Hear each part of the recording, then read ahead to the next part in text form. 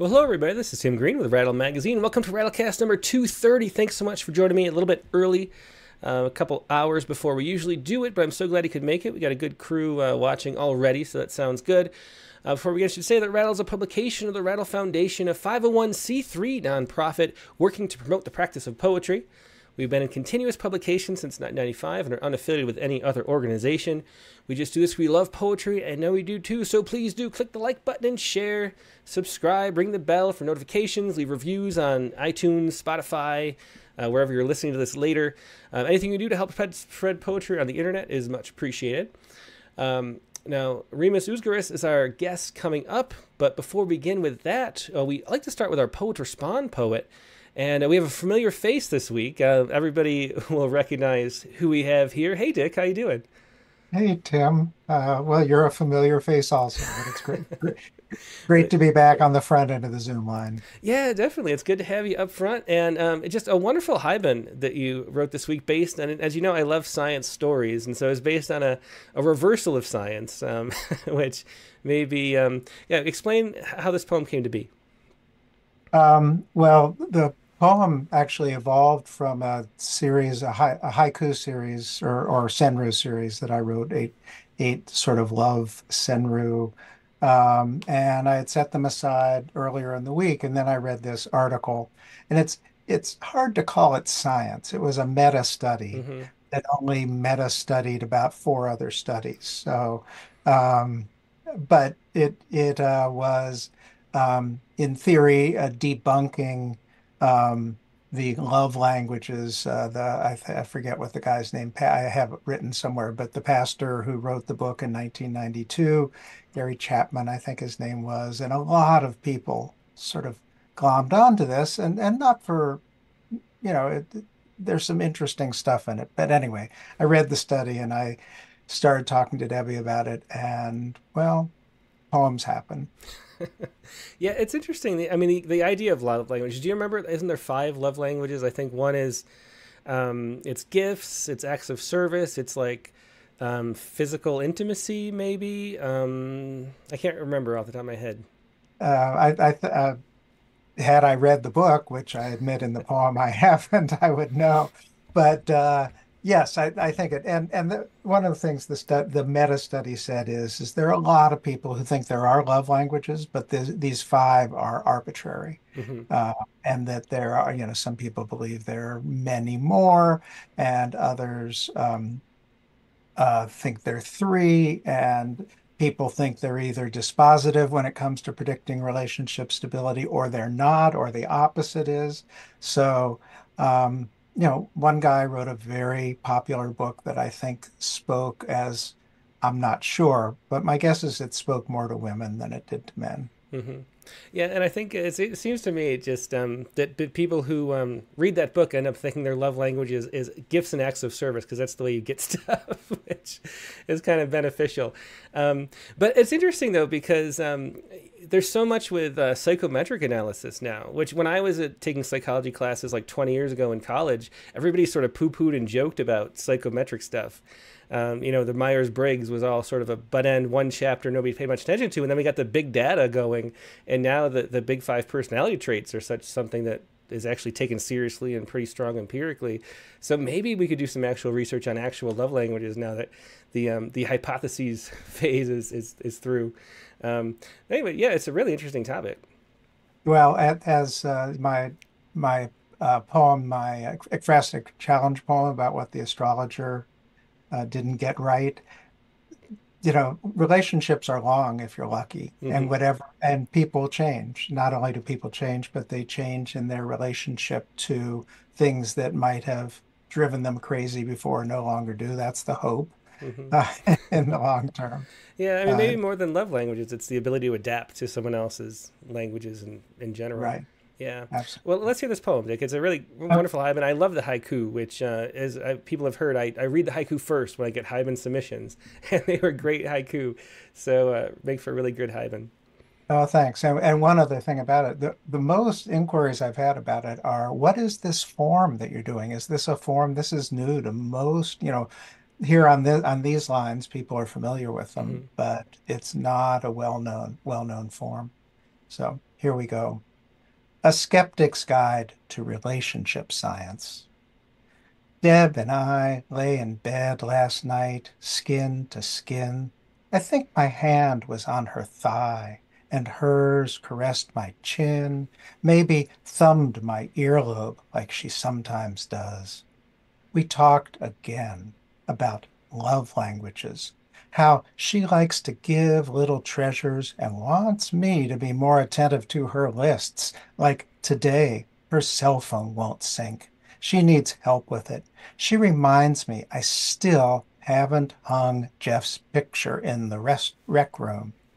I know Deb's notebook is full of to-dos for me, all dated, some starred in red pen. There are too few checked off.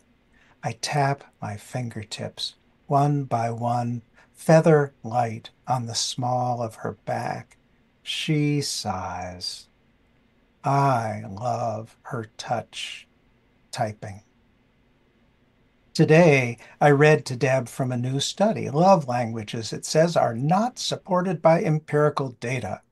One of my love languages must be empirical data. She tells me about a conversation she had with our friend Claire. They were walking along Barton Pond in Ann Arbor. Deb recalls wearing new blue walking shoes, the ones she now dons to work in the garden. It must have been 30 years ago, she says. Claire's man Paul hadn't read the Love Languages book either. Growing old, we remember different things. I always wake later than Deb. This morning, I find a note taped to my computer keyboard. Kitchen counter, it read, written in aquamarine script. I'd left the remains of my dinner fixings, and now they stuck like glue to the old formica. We often prepare and eat different meals, mine always with brown rice and beans and cooked greens, Deb's according to her mood. On the table where I sit to eat, there's a note rubber banded to the tamari bottle. Please return me to the shelf, it reads in bold black marker. As I clean the counter, Deb squeezes by. Her bottom brushes mine comfortably, for sure. Our kitchen, too small to miss her. Yeah. Excellent, Haibun. Thanks so much for sharing that, Dick, and for, for being here on the early side of the show. Really appreciate it. Uh, pre- I appreciate it. Thanks, Tim. Bye bye. Yep, yep, take care. That was a Dick Westheimer, you know, with a skeptic's guide to relationship science. And now we're going to take a quick break and go to our main guest, Rimas Uzgiris. So sit tight, and I'll be right back with more poetry.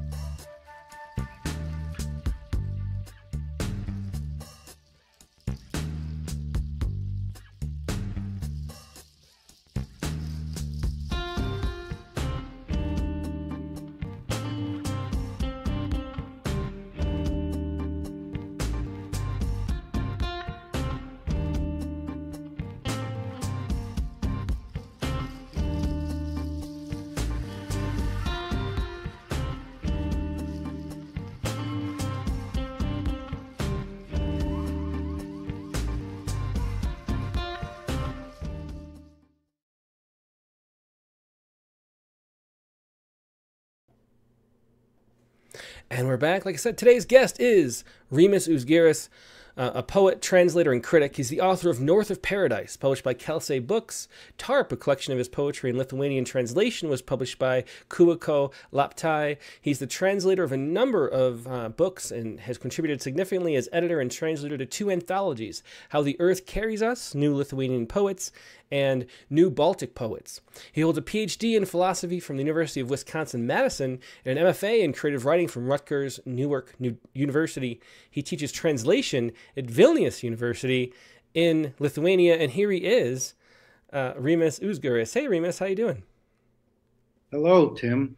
Thanks for having me here. It's a pleasure Yeah. to be here. Yeah, it's so great to have you. It's really fun having you know poets from across the pond and all, all around the world, and it's uh, really fun to have you here. Do you want to start out with a poem? Sure thing. Uh, this poem is set in Kaunas, Lithuania from 1993. That is, it's me remembering my time there. In transit, the trolley bus won't go. Its reins have fallen from society's hands. When the driver lifts them up, a bolt of light breaks free, and we sink into silence again. I have to go. The flowers are wilting, and I have to go. This can't be, my love, our rusted hope, stalled on an outer road, stuck in a traffic ring while cars budge past, elbowing us, like the scowling crone in a cowl, pushing through an oblivious crowd, a sewing pin stuck between fingers, needling the corpse of our post Soviet, post-modern transport. This must be why, in Chagall's paintings, the lovers always fly. And that was uh, in transit by Rimas Uzgiris. Um, and so, so Rimas, how did you uh, to start out? Like, how did you end up in Lithuania? Um, I wasn't sure if you were born there or not until you know reading your bio just recently. Um, but you know, moved, fr you know, went through programs in the United States and then ended up in Lithuania. How did that come to be? Well, yeah, it's it's what I write a lot about actually, because it's an interesting question for me as well. Uh, I was born in the States, uh, but my parents were born here. Uh, they were uh, children when they came over right after the Second World War. So they were, as we call them, DPs, displaced persons. Now they just call them refugees. Uh, and so I'm I'm the son of refugees, you could say. Um, and uh, why did I come back? I, I kept coming back, and uh, and uh, I kept finding. Uh, this is my second wife here. I have now, and I've made a family. And uh, I, I was never especially, I would say, patriotic or nationalistic or anything. Uh, but something just kept pulling me back. Uh, I felt uh, somehow at home here, even though I grew up in a totally different uh, culture and society, right, in the United States, and uh, and and yet here I am, uh, and trying to figure that out is is why I write a lot of the poems I do.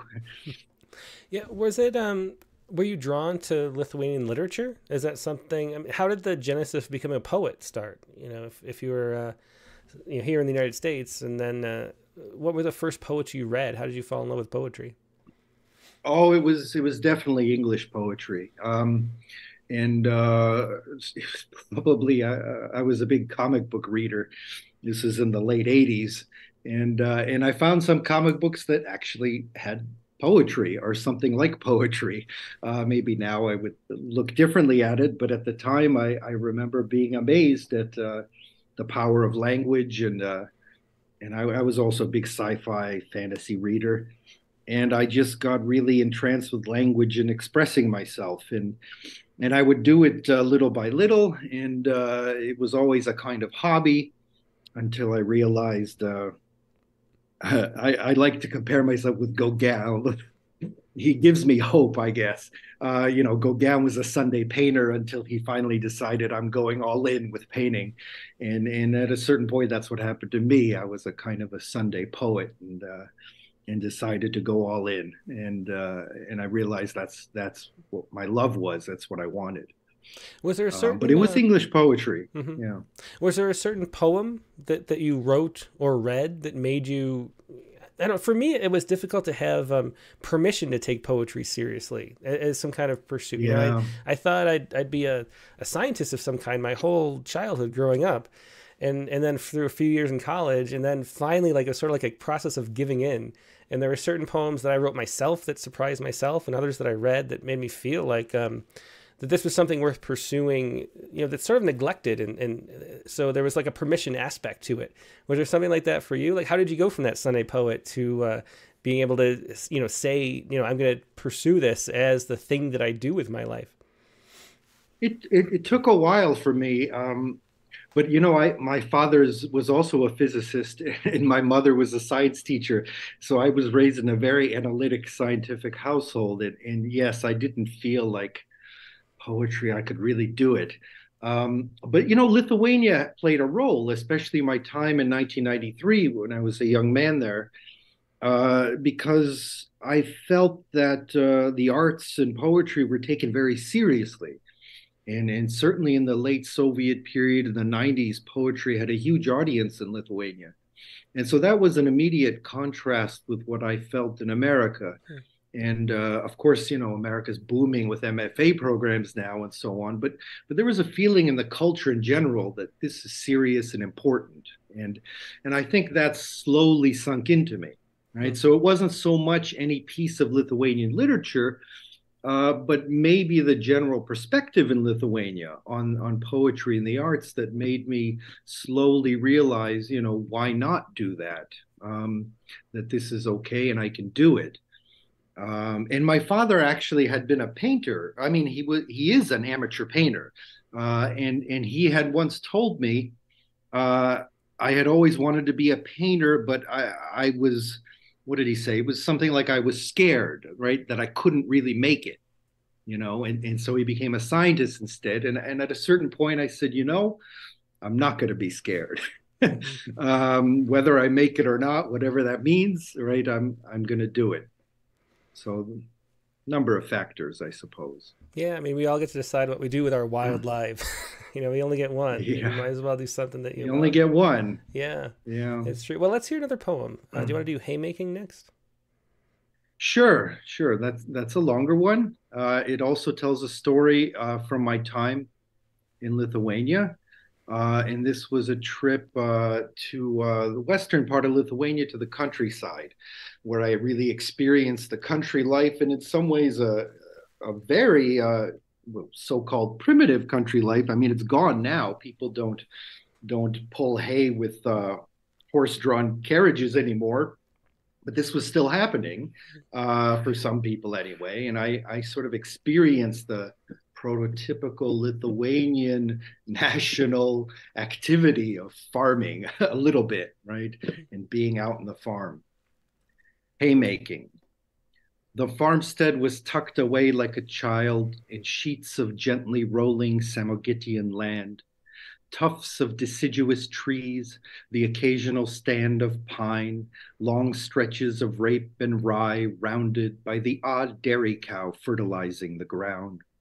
The man of the house watched TV, paralyzed. Three women worked the fields. They took me to harvest hay. We rode a cart pulled by a hag. I was given a two pronged fork, my trident to rule the waves, and struggled to correctly lift and tuck the golden threads onto the wooden loom. That morning, I had milked my first cow, trying not to show fear at the feet of the abrupt heft of the mammal, my senses overwhelmed by the sense of her muscle rippled hide, by the dew drenched grasses scumbled with the wild flowers of exclamation, whose names I didn't know, by the hot white manna squirting into a dented metal pail that pealed like a broken bell. The girls, as stout as the storks patrolling the fields, as focused and as at home, though they too would migrate to college over the horizon's edge, smiled at me as at an omen of the good life to come, while they worked the harvest into shape, sculpting their load, invisibly adept I was the plump anthropological specimen, not they, visiting from far away, from a life they only saw refracted through a screen. My God, were they strong. I was to be a drenched rag doll pulled out of the sea in the still cool morning by the time we had loaded up, riding back on top of the pile of hay, feeling like a Bruegel subject, completely out of place, as if I had been sucked into the frame straight from some cozy gallery couch. The tufts of trees, they explained, were graves of farmsteads from before the last war neighbors dispossessed of their land and transported in cattle cars to make what they could of love and death in a new world of Siberian wastes. The mother had taken the fresh milk each day to the communist collective in the valley below. The land was theirs now, but she had to sell what they made milk, salt pork, eggs, and fowl. Her husband making the best of it in his wheelchair bailing the hay from our creaky ship into its hollow, sun slatted harbor, learning how to take that devil's fork up and up and up until the loft was covered in rough strands of gold. I had had enough of anthropology by then and retired to a sunny mound to read Mačernis's poems about these parts, the young poet himself blown up in a cart like the one I rode, fleeing the oncoming red tide, trying to find the mysterious ferry to the new world where my parents fled, finding Charon smiling instead, though no one knows which side lobbed the shell onto his family's desperate ride. The three came in after several more rounds of hay had been safely stowed away. Thunder clouds gathered behind them like the omens of history. They thanked me for the unexpected help. I wanted to slink away to the city and never come back. They meant it. I would swear they were genuinely full of gratitude, that not a single smile was snide or false or slow. I had a wife already, so this was not for show. I walked down to their little pond at night, undressed and took a swim. Duckweed parted, mosquitoes patrolled the sky above, stars poked like pinholes through shadows of intermittent clouds. It was calm, small, and beautiful, and meant nothing on its own. The city called, but I took the old phone off its hook and drifted. I drifted away. I drifted here. Yeah, there's Rimas Uzgiris with Haymaking. That's from Rattle's uh, fall issue. Um, and it, it's interesting, uh, you know, reading through your books this week and, and, and hearing your life story, how similar it is to uh, Michael Favala Goldman, who we um, interviewed with our um, uh, translation issue in the fall of 2022. And um, he went back, um, you know, he's a Danish translator, and went back and sort of fell in love too well on a farm and, and sort of, you know, ended mm. up going back and mm-hmm. forth and translating so many Danish poets too. Um, and a similar sort of size countries and similar ways of life, maybe. What do you think was it that, that drew you back there in 1993? Was it sort of the, I, I can imagine, you know, family stories and sort of being a curiosity that develops as you, um, as you think about your roots? Was that what drew you back, or, mm-hmm. or what was that invisible force that got you there? It was something about that for sure. Uh, uh, I suppose superficially, I was an anthropology major, and I had decided I'm going to study Lithuania, right, for grad school. And and I, ha- I took a year off, a gap year, and I, I went to Lithuania to see what it's all about, to relearn the language or learn it better because because mine wasn't very good at the time.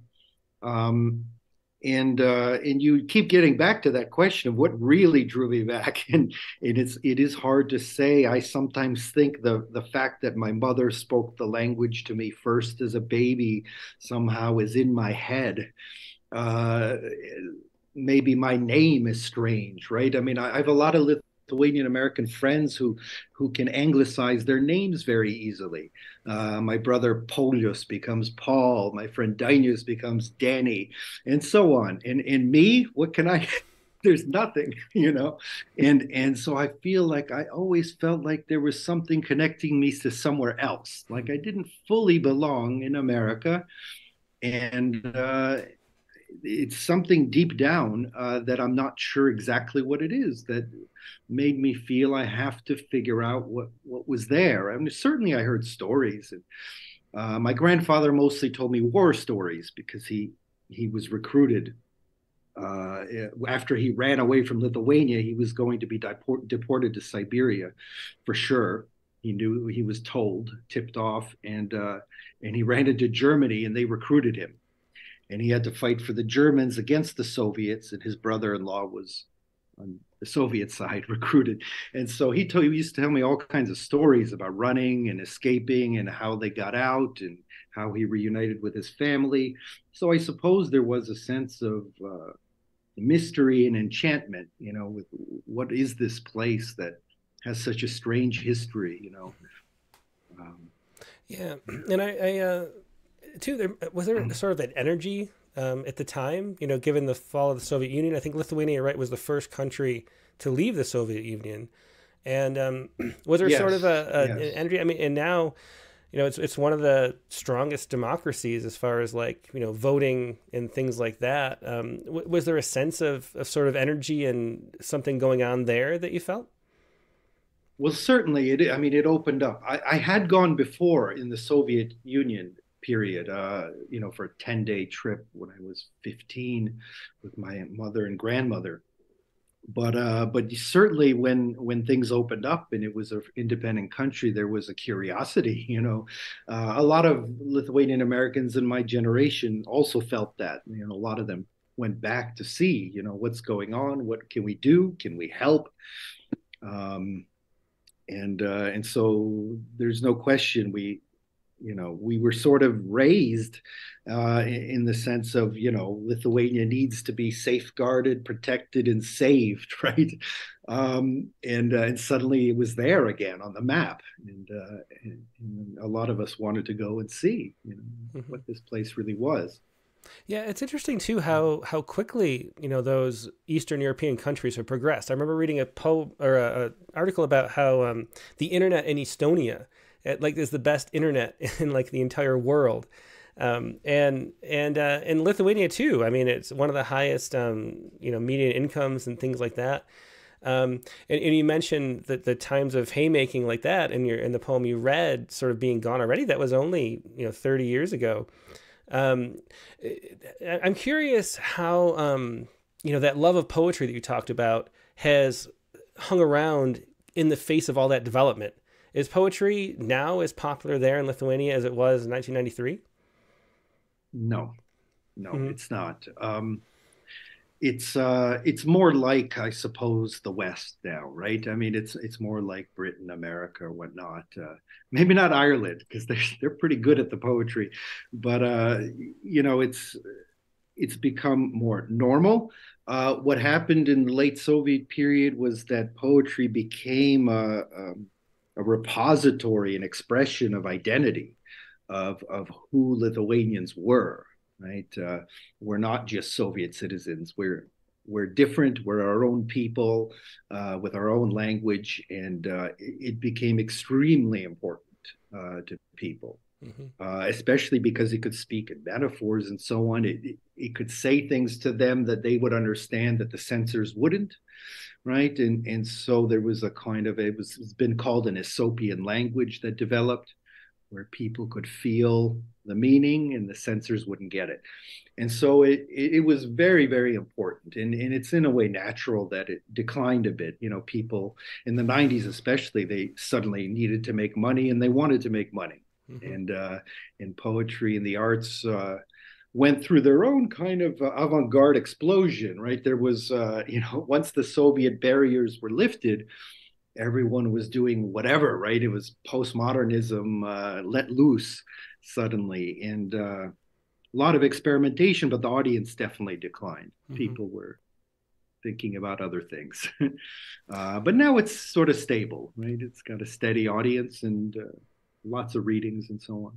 Yeah, I mean, it is interesting how you know all those market forces come into play um, with poetry itself, and uh, you know it's hard to compete for entertainment, you know, with other things, and you know, it's it, there's just a way that things sure. go, and and I think unfortunately poetry falls victim to that, no matter where you are in the world. Um, yeah, so that's interesting, kind of a test case for that. Uh, but let's read the next poem, A Brief History of Vilnius. Okay. A Brief History of Vilnius. Nestled in a nest of forested hills far north of Mediterranean sun, squats a city that seems a reverie of Spanish or Italian Baroque.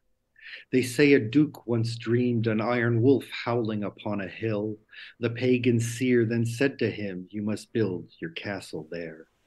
What happened after that is harder to trace in lines. The blend of Balts and Poles, then Jews, of Russians, Belarusians too, and God knows how many more who came through Germans and Swedes, the tattered rags of the Grand Armée, Soviets of many regards, and we can't leave out the Italian craftsmen who arrived at Bona Sforza's bequest to remake Krakow and Vilnius as well. And so Medieval was reborn as late Baroque. Now you can tell the Russian Empire facades by their mustard yellow bricks tinged with soot.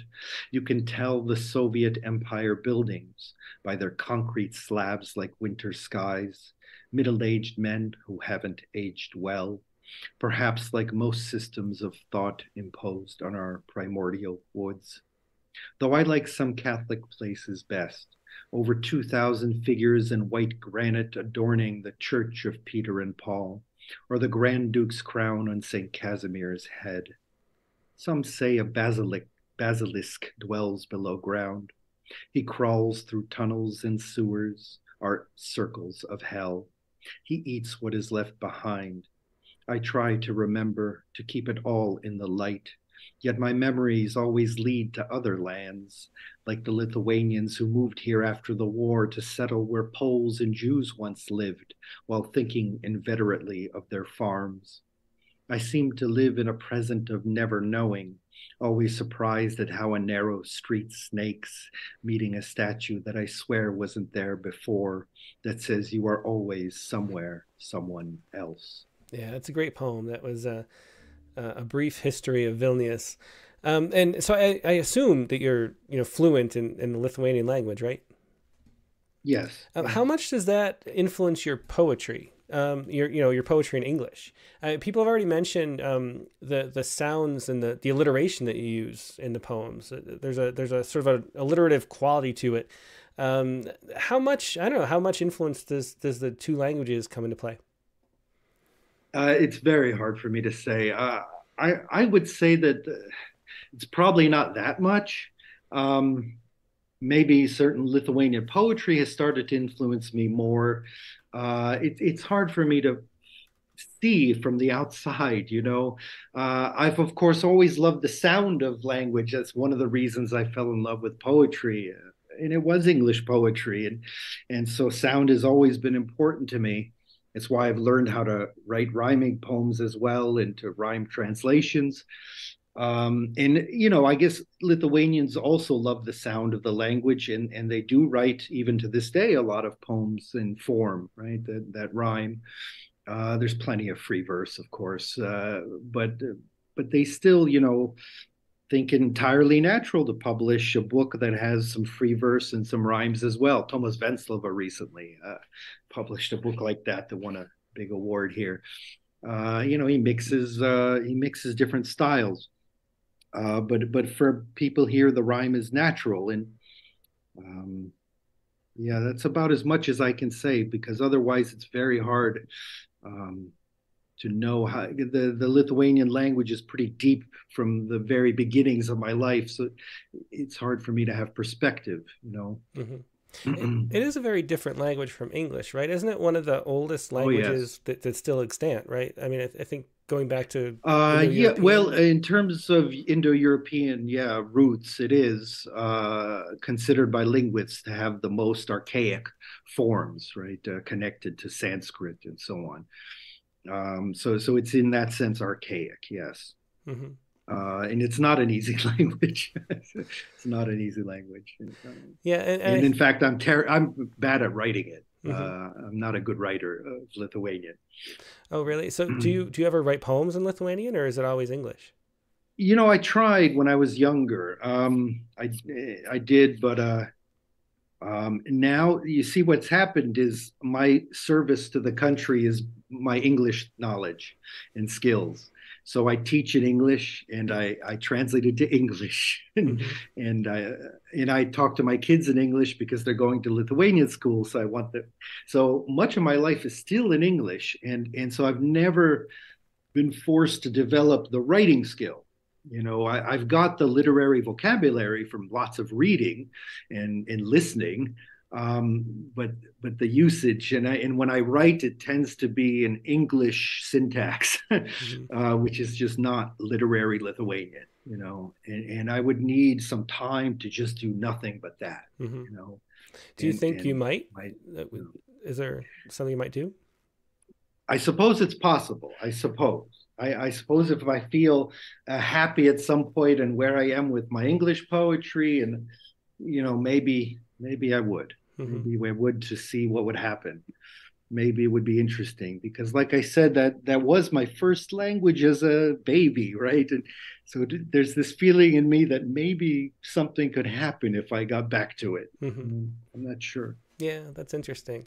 Uh, well, the next poem up is uh, "North of Paradise," which is the title poem to your your uh, book. Um, can you explain to? Why don't you read that poem? But explain to why you chose that as the title poem to the book. Yeah. Um, I, I wish it was so easy to explain. Um, but I, I, suppose it has to do a little bit with dislocation, although in this case it's about translation. Uh, the the the Marius I mentioned, Marius uh, Marius is actually a, a, poet friend I translated. That's the book I translated of his work, um, and and we did a lot of work together. Uh, he translates from English to Lithuanian. He translates me. Uh, so he's the primary translator of my Lithuanian book, Tarp. Um, and uh, and I translate him. And, and he's also works with me as an editor. He checks my translations and he's very, very good because he knows English and Lithuanian poetry very well. And so this is a, uh, you know, translation is about somewhat dislocating yourself, going into a different mindset and and trying to figure out how it works in your language and uh, and I think that the the whole book is partly about that sense of being dislocated, but trying to work through it and find the language to live in. I suppose. Mm-hmm. Let's say. Uh, here, well, here's the poem. Excuse me. North of Paradise. The terrace lay empty as Eden under a prescient autumn cloud no one risked the gift of rain or early darkness like a shroud. Marius and I tarried outside, smoking our camel grays, before ducking inside to hide from a sky so far away from what summer had sung to us all. We huddled then in a concrete den where people whispered as if to a wall. Sipping black coffee, we translated again, turning self into other, yours into mine, being reborn or not in every line. Yeah, and so it was North of Paradise, the title poem um, to Rimas's uh, recent book from a few years ago. Um, so, so what is your um, your your opinion on translation? Um, the stance you kind of take because there's this this whole continuum of how literal to be. You know, on the one end, there I always think of Eugenio Montale, who I love um, when translated by Charles Wright very loosely and then uh, by William Arrowsmith very uh, more precisely. It seems like it loses some of the music, um, but then it's more accurate at the same time. So, so what is your your sense of where to position yourself as a translator? Because there's so many, you know, the, the music of languages is so different. Even the the way languages are timed is different. Um, and then all the idioms are different. There's so much difference. Uh, how do you go about? Do you do you think more of capturing the spirit, or more capturing the content when you're when you're um, translating? Uh, well, I'm I'm in a, a, a position where, first of all, I do I translate mostly living authors, so there there can be a problem there if you don't stick close to the content. Mm-hmm. Uh, I've had people say, I didn't write that. uh, you know, some people are, are understanding and they realize you're going for something, they let you change something. And, and others say, that's not what I wrote. You can't do that. Uh, so, you know, it, it's it's great when Borges writes about uh, translating Homer and all these versions of Homer and versions of uh, the Thousand and One Nights, but you know, those those authors are dead and they might not have even had one author, right? Uh, it's easy, right, to to say be creative. Um, when there's an author looking over your shoulder, you know, it's a little harder. Uh, what I found when translating uh, Maironis recently, the the great romantic bard of Lithuanian poetry, is music is really important to him. So I'm trying to capture the music, and yet there doesn't exist a book in English of his work. Mm-hmm. So I also have a responsibility for people to know what he's talking about, right? I, I, I don't want to change the metaphors. I don't want to change really the nitty bitty of what he's talking about. You know, his images, his historical references. I, I, ha- I feel a responsibility um, as one of the only people doing it into English uh, to to convey it.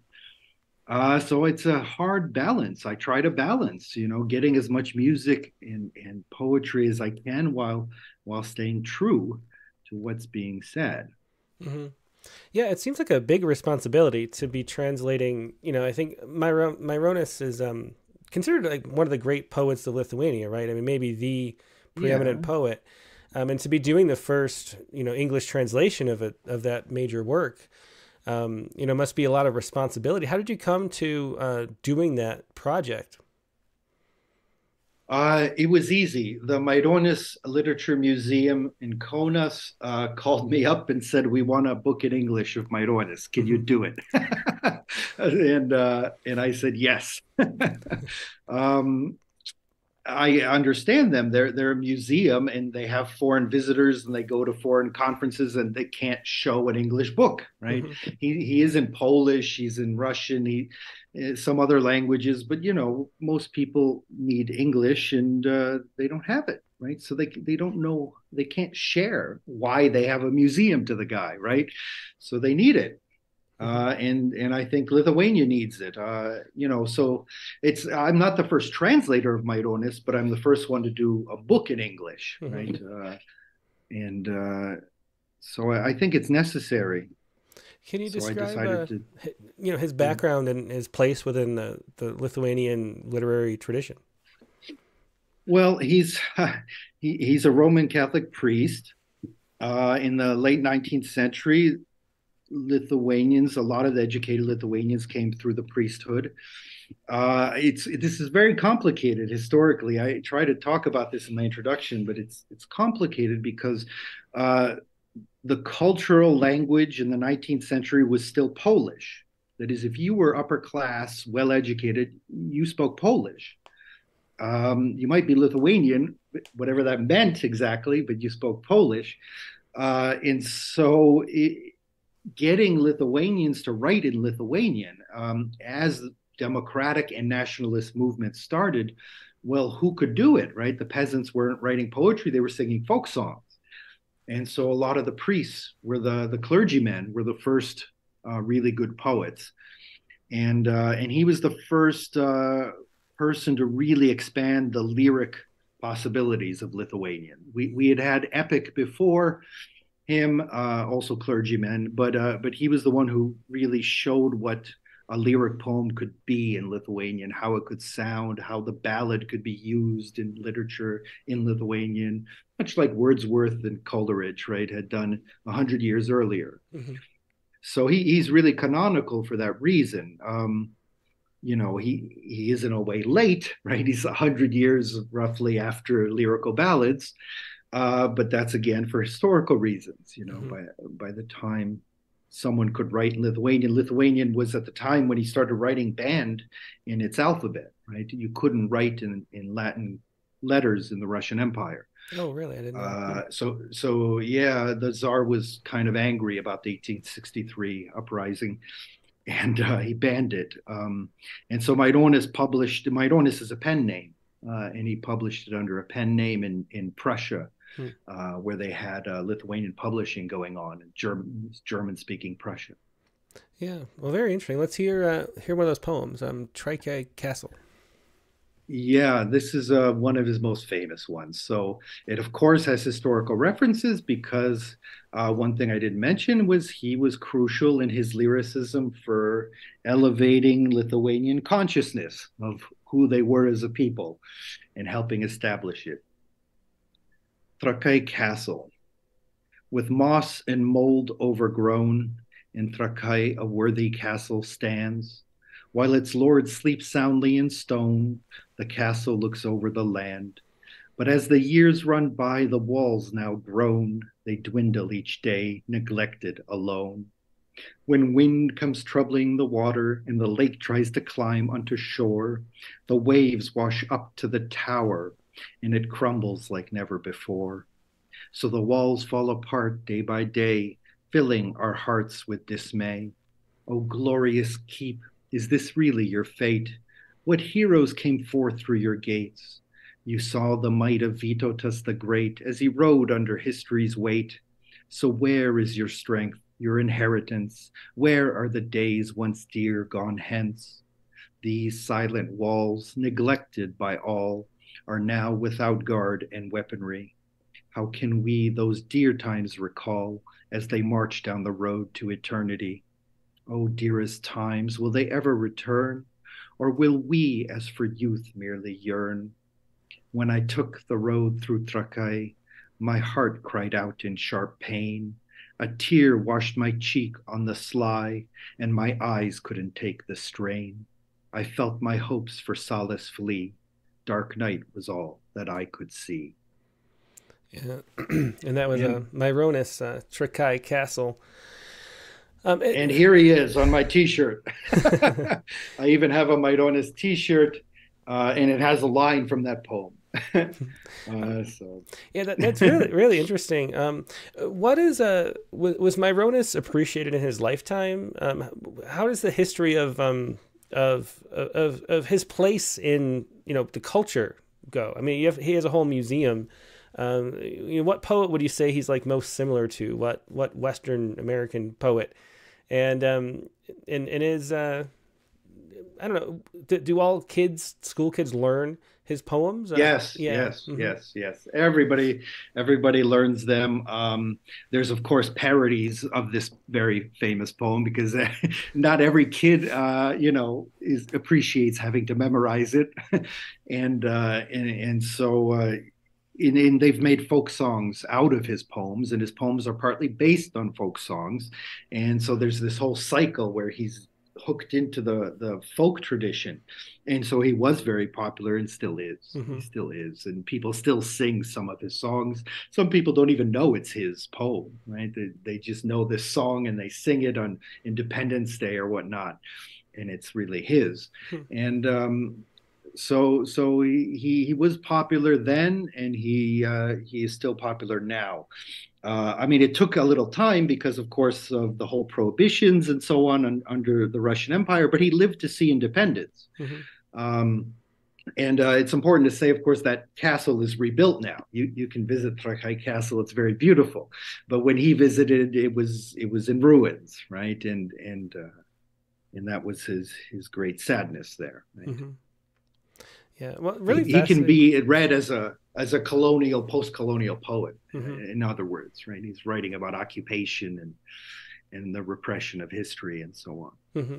Yeah, it's just really interesting to learn about all this, which is all new to me until being introduced to your your work. Um, but let, us read another poem. I should say too, if anybody has any questions for Rimas, uh, leave them in the chat windows either on Facebook or YouTube, and I can pass anything on. Um, let's see. But the next poem up we had was "Over and Out," another another of your own poems, a recent one. Yes, yes, this is more recent. Um, uh, and, and it's based on uh, a reading at the Vilnius Book Fair uh, a year ago, a year minus three weeks. It's coming up again. And, uh, and it was actually on the anniversary of uh, Russia's second invasion of Ukraine.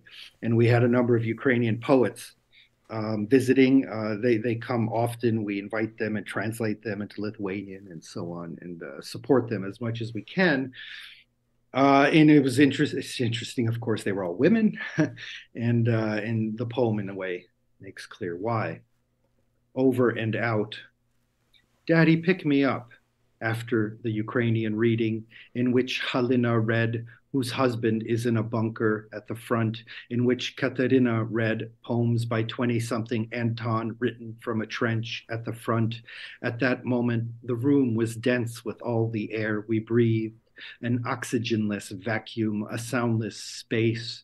One of the translators barely made it through. His spacesuit must have been malfunctioning and we had to go outside where the TV tower loomed in a zero Kelvin night, where 14 souls had been sucked under Soviet tanks, automatic doors closing behind, the Lviv women standing there like an envoy of Erinyes. No, just young women standing, smoking, stunned, Daddy, pick me up, my daughter said, and I told them how glad I was they were here, how pleased we could host them, what an example Ukrainians set for poetry and courage. Oh, my spacesuit must have been malfunctioning. My daughter looped around my neck, my American smile, so unlike their own, which looked as if they were pressing their lips hard to keep the air inside, only to realize there is no spaceship, but rockets, rockets burning bright in the cities of their night. Goodbye. Goodbye, said my daughter and I as we opened our parachute and gently drifted home great metaphor there. There's a recent poem from Rimas Uzgiris, uh, Over and Out. Um, can you tell us uh, anything about your, your writing process? Um, you know, how do you confront the page when you're sitting down to write? And, and does the, the fact that you translate so much affect that at all? Um, is it, is it something, you know, what is your, your goal, I guess, is time to ask as you write uh, a poem?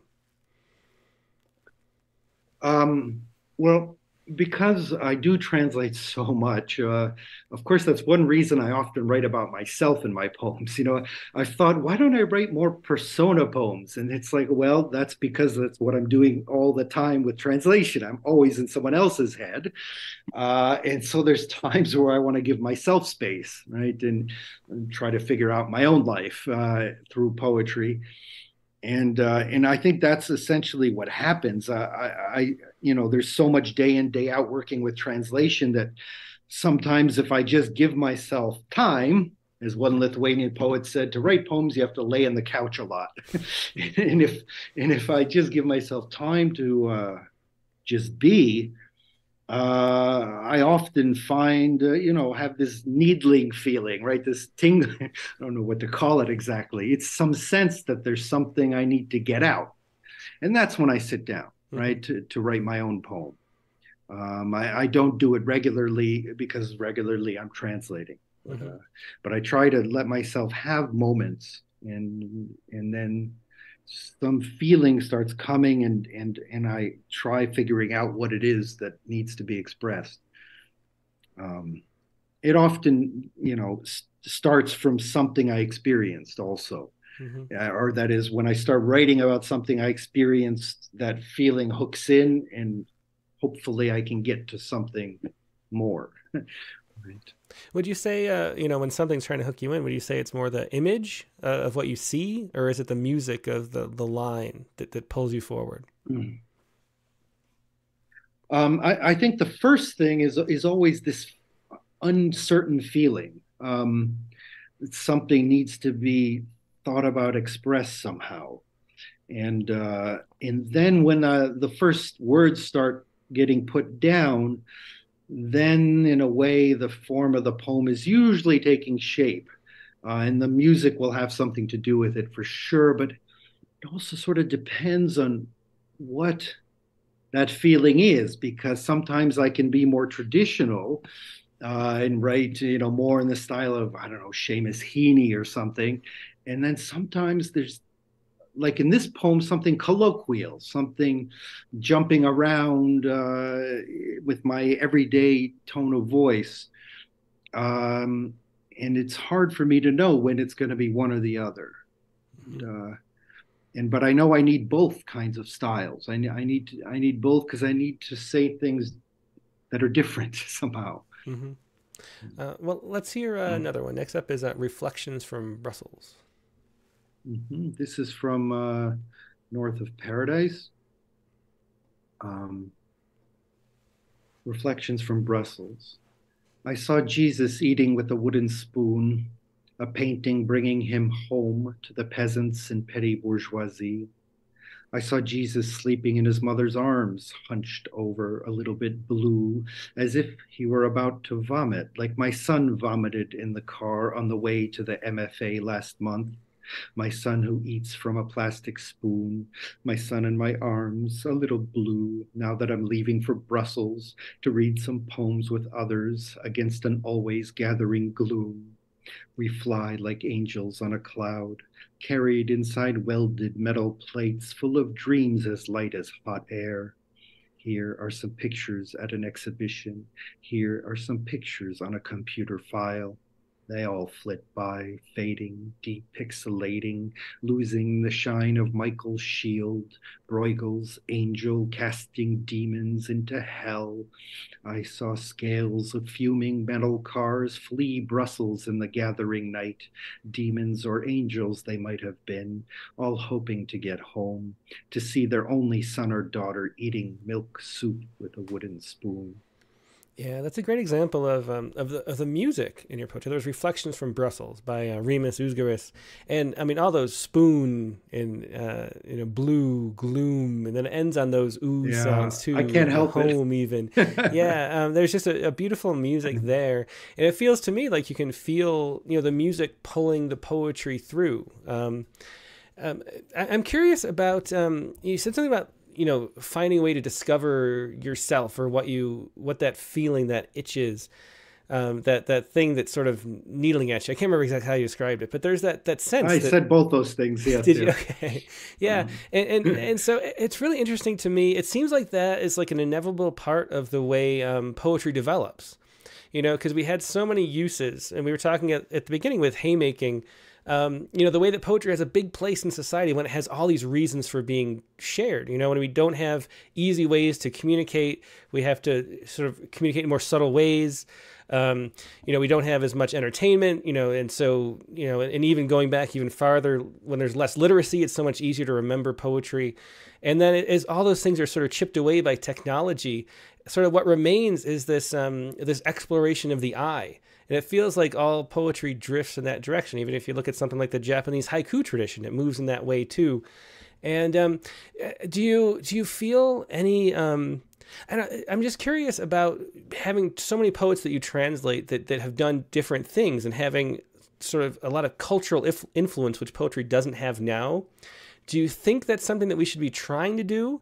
Uh, and still having that kind of cultural significance, or do you think the turn inward um, is is just as important, and we should just keep doing that because that's what we've been doing with poetry, really.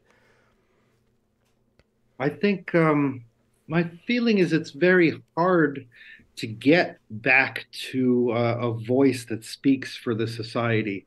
Um, I mean, just take American society, right? Who who can speak for all of it, right? All the different people. Uh, uh, you know societies are so big now and and we're all in in ways fragmented fractured uh, segmented different in various ways. It's it's hard to feel that to me this is my opinion of course but it's hard to for anyone to feel that sense that i can speak for everyone.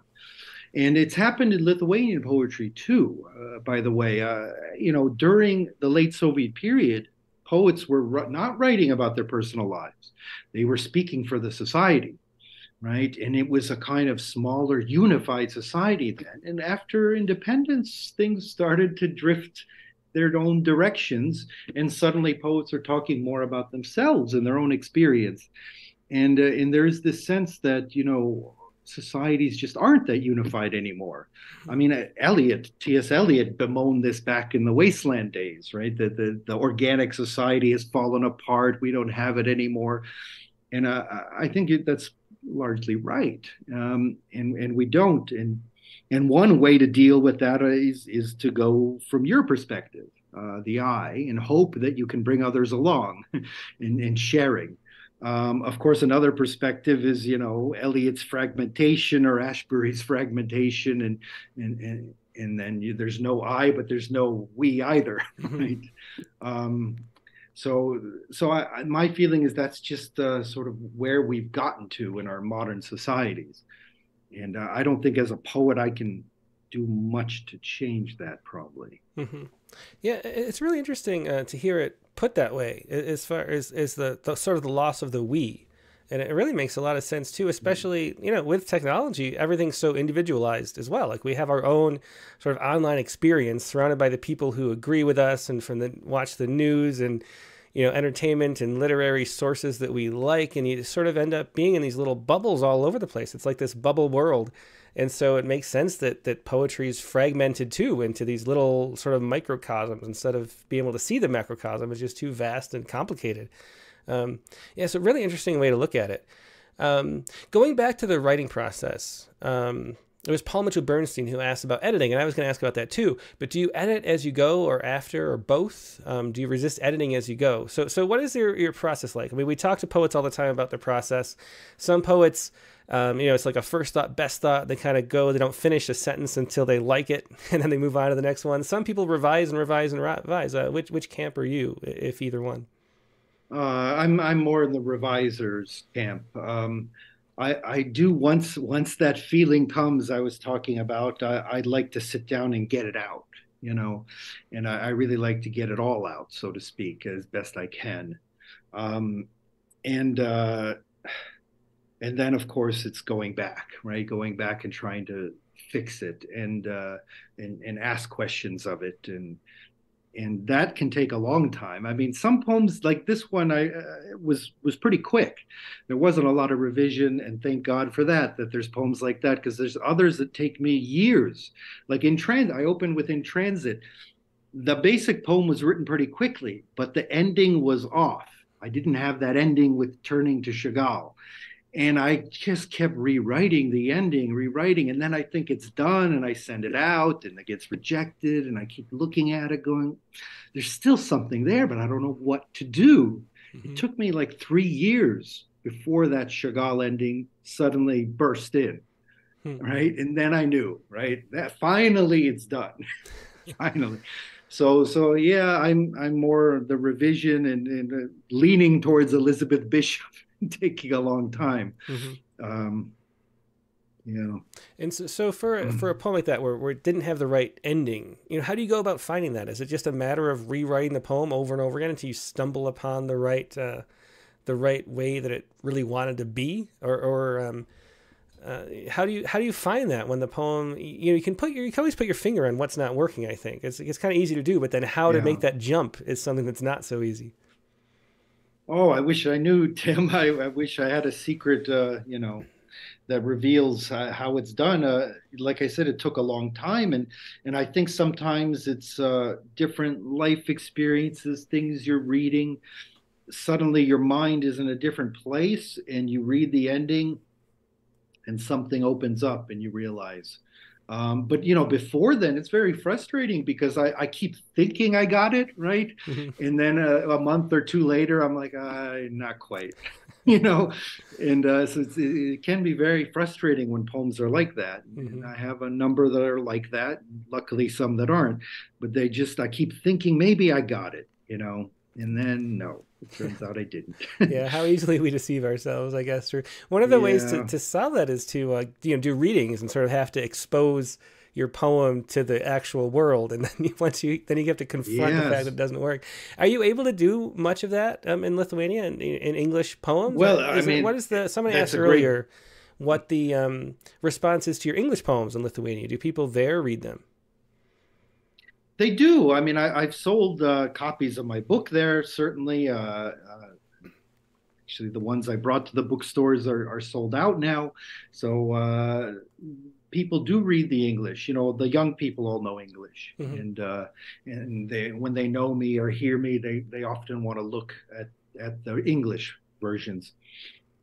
Um, but I often, because I'm fluent in Lithuanian, you know, when my friend translates my poems. He does a great job, frankly. He's a great translator. Uh, I, I, often just read them in Lithuanian, mm-hmm. you know, uh, sort of out of respect to the audience, right? I, and, and, I'm a citizen, right? I live there.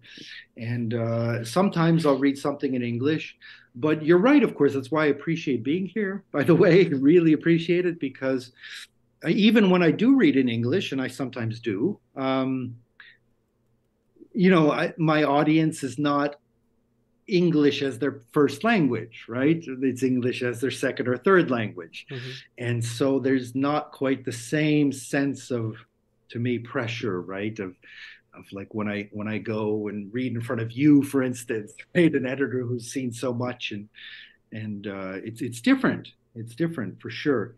But I love reading in Lithuanian too, and, and I love being part of the poetic community. And it's accepted me and it's it's very, you know, in a way supportive and, and, and positive. It's a good it's a good literary community overall. Mm-hmm. Of course, people fight like everywhere, little animosities and so on. But you know, it's. Mm-hmm. I was just at a poetry reading today, by the way. Oh, really? Before coming on, yeah. Is, is there a um, any kind of mm-hmm. pressure to write in different languages, or pressure to keep it with the Lithuanian? I think it's a what they're two point uh, two and a half million maybe people um, in Lithuania. Yeah, is, is seven? I guess. Yeah. Is, um, yeah. Is there any? Are people writing in, in other languages uh, to to reach a wider audience, or is there is a sense that that poets should stay in Lithuanian to preserve that heritage of the language? I think um, there are some people writing in English, but they're not that good. And uh, one problem is they're not reading enough in English. We'll see what happens, but for the most part, it's people are committed to the language they grew up in, right? And uh, it's a language where they fell in love with poetry, right? It's Lithuanian, and so they are writing in Lithuanian. Um, of course, the, we have ethnic Poles and ethnic Belarusians and and ethnic Russians here too, and and and we've been lately uh, encouraging right them to write. Um, we have some Litvaks uh, as well, uh, that is Jewish Lithuanians. Um, although no, nobody really knows yet much Yiddish anymore. Um, so, so we certainly encourage people whose language it is to write in it, because we, we, in a way, a lot of us are trying to resuscitate the idea of, of the Grand Duchy of Lithuania, this multi-ethnic, multilingual place, mm-hmm. right? Um, and and we'd like it with you know more tolerance, right?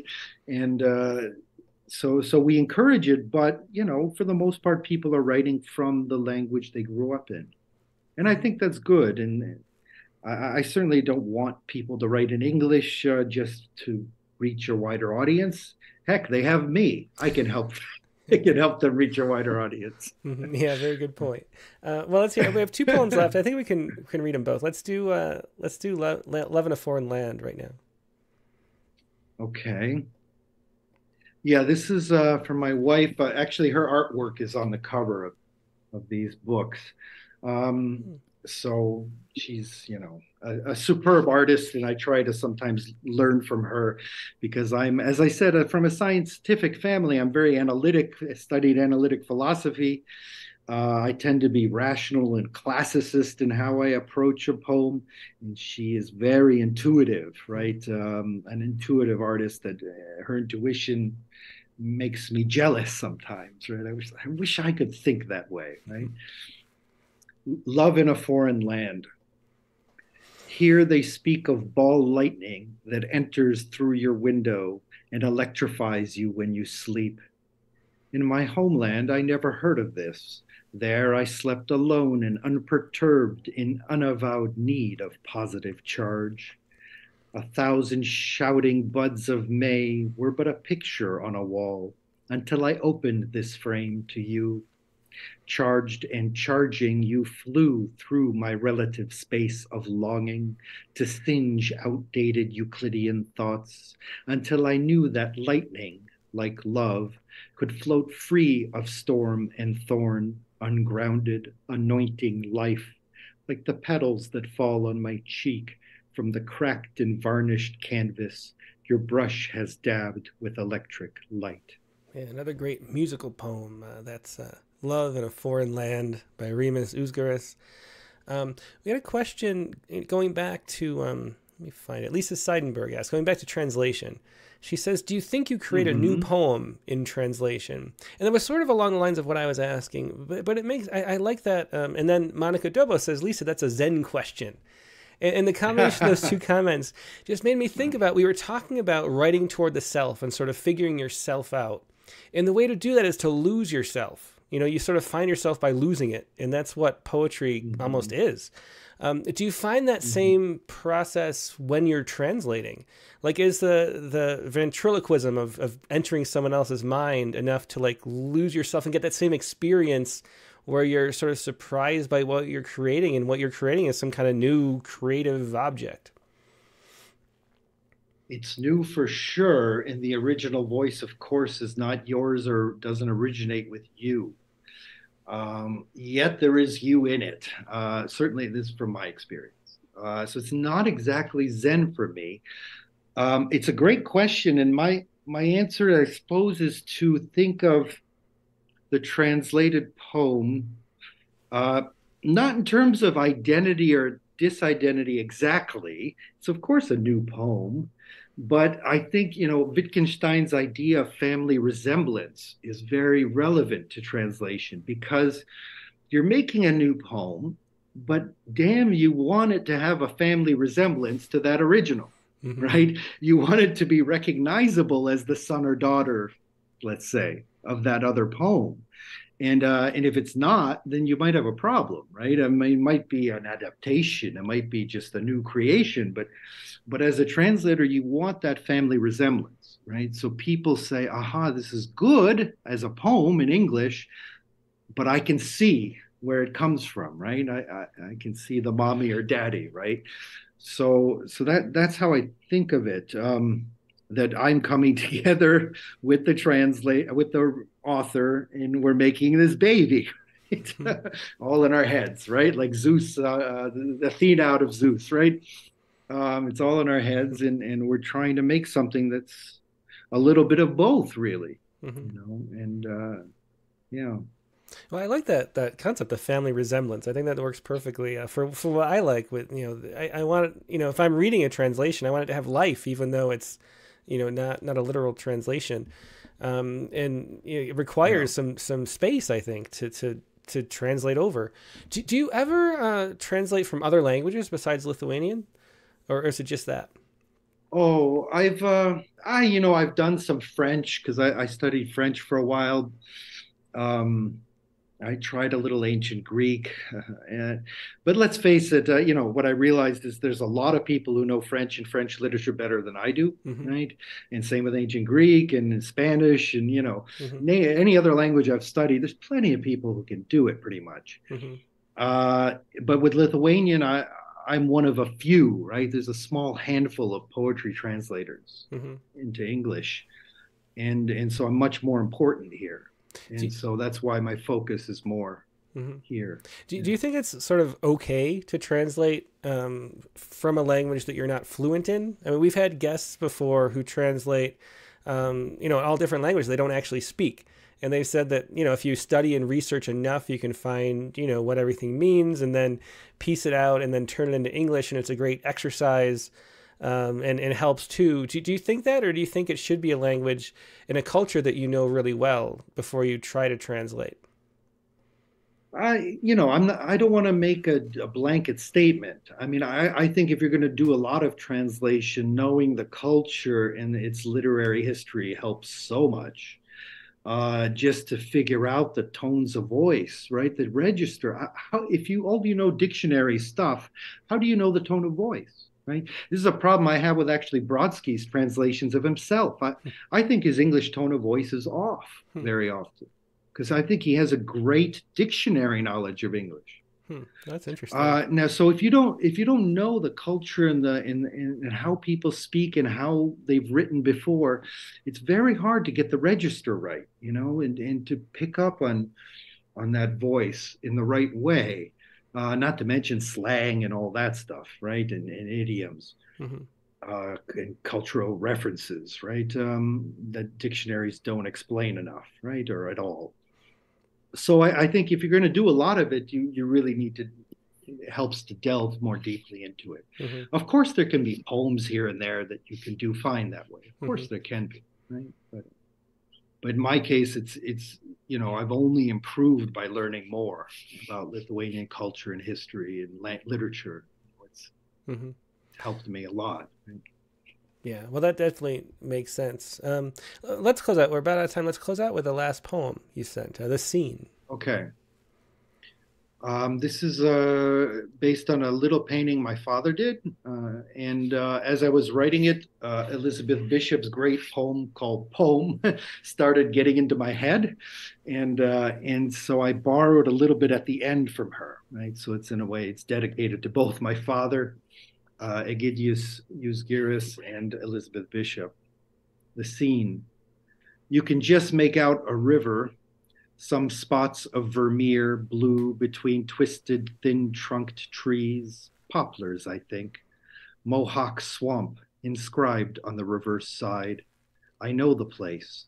If you don't pin me down, it's by the bike path along the former train track embankment. But why did he paint it? Did it call to mind the boggy homeland he left behind the Iron Curtain as a child? The iron jaws of the river's locks lie just downstream. Doors like the gates of hell stopping the water, then swallowing pleasure boats whole, excreting them stunned and diminished to float past the scruff of shrubbery that grew like the beard of God on the balding island before the big drop over horizon's edge. We'll never go back there again to see this, feel this, Father. I am left to gaze through the slashes of thin hipped poplars trembling between swift water and windy pine on the bluff behind. Just pools and runnels, dark clumps of damp earth, roots twisting over each other in search. God, it's a snake pit for a spot to hold on to, for a place to stand still, though the painter has found it the artificial embankment provides solid ground for a time to sit down, the banked artifice of our mortal trust. Yeah, and that was uh, the scene um, by Rimas Uzgiris. Thanks so much for being a guest today, Rimas. It's great talking to you and learning a lot and uh, really fascinating stuff. Thank you, Tim. It's a great pleasure. I'm so happy to share my poems in English, to talk to you in English, to an audience of poetry lovers. It's it's really a pleasure. Yeah, well, well, we're definitely glad to have you here, and uh, and come back again sometime. Take care. Okay, bye bye. Yeah, that was Rimas Uzgiris, um, and uh, his book uh, North of Paradise you can find um, at the publisher's website. Probably the best place to go and that would be um, kelsaybooks.com. That's K E L S A Y books.com. Just look up North of Paradise and you'll find that. Um, now we're going to take a quick break and go to our prompt lines. And how the prompt lines work, if you're new to this, um, I'm going to paste the uh, Zoom link into the chat windows on Facebook or YouTube. And then you uh, can join on Zoom and do this. So here is uh, the prompt for this week was to write a poem that tells a story about a silent interaction with a stranger. That was your prompt this week. If you have a poem that applies, um, email it to promptlines. That's promptlines, all one word, at rattle.com, promptlines at rattle.com. Then find the Zoom link that I'm about to share on uh, YouTube or Facebook. And uh, but only join if you would like to share a poem. Um, otherwise, just sit tight right where you are, and that's the best place to watch and just enjoy the poetry is on the on the original stream, either on Facebook or YouTube. But if you have something to share, jump over to the Zoom right now, and I'll be right back with more poetry.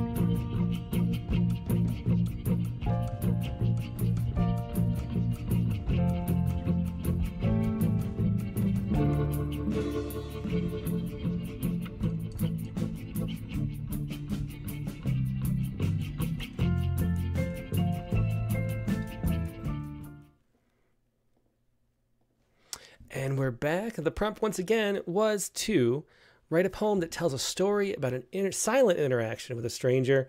And our uh, prompt poems editor, Katie Dozier, is here. Hey, Katie, how you doing today? Hey, great. I really enjoyed the show so far until I entered the fray. well, it only gets better when you're around, Katie. Aww. So, so uh, what did you do uh, for the for the prompt this week? So I want to preface this by saying, like, when we put out the prompt, I never am like, oh, I'm actually going to twist the prompt and like not like I just, you know, I try to approach it as what I think would be a good thing for everybody to write and would be interesting and different, of course, than what we have been writing.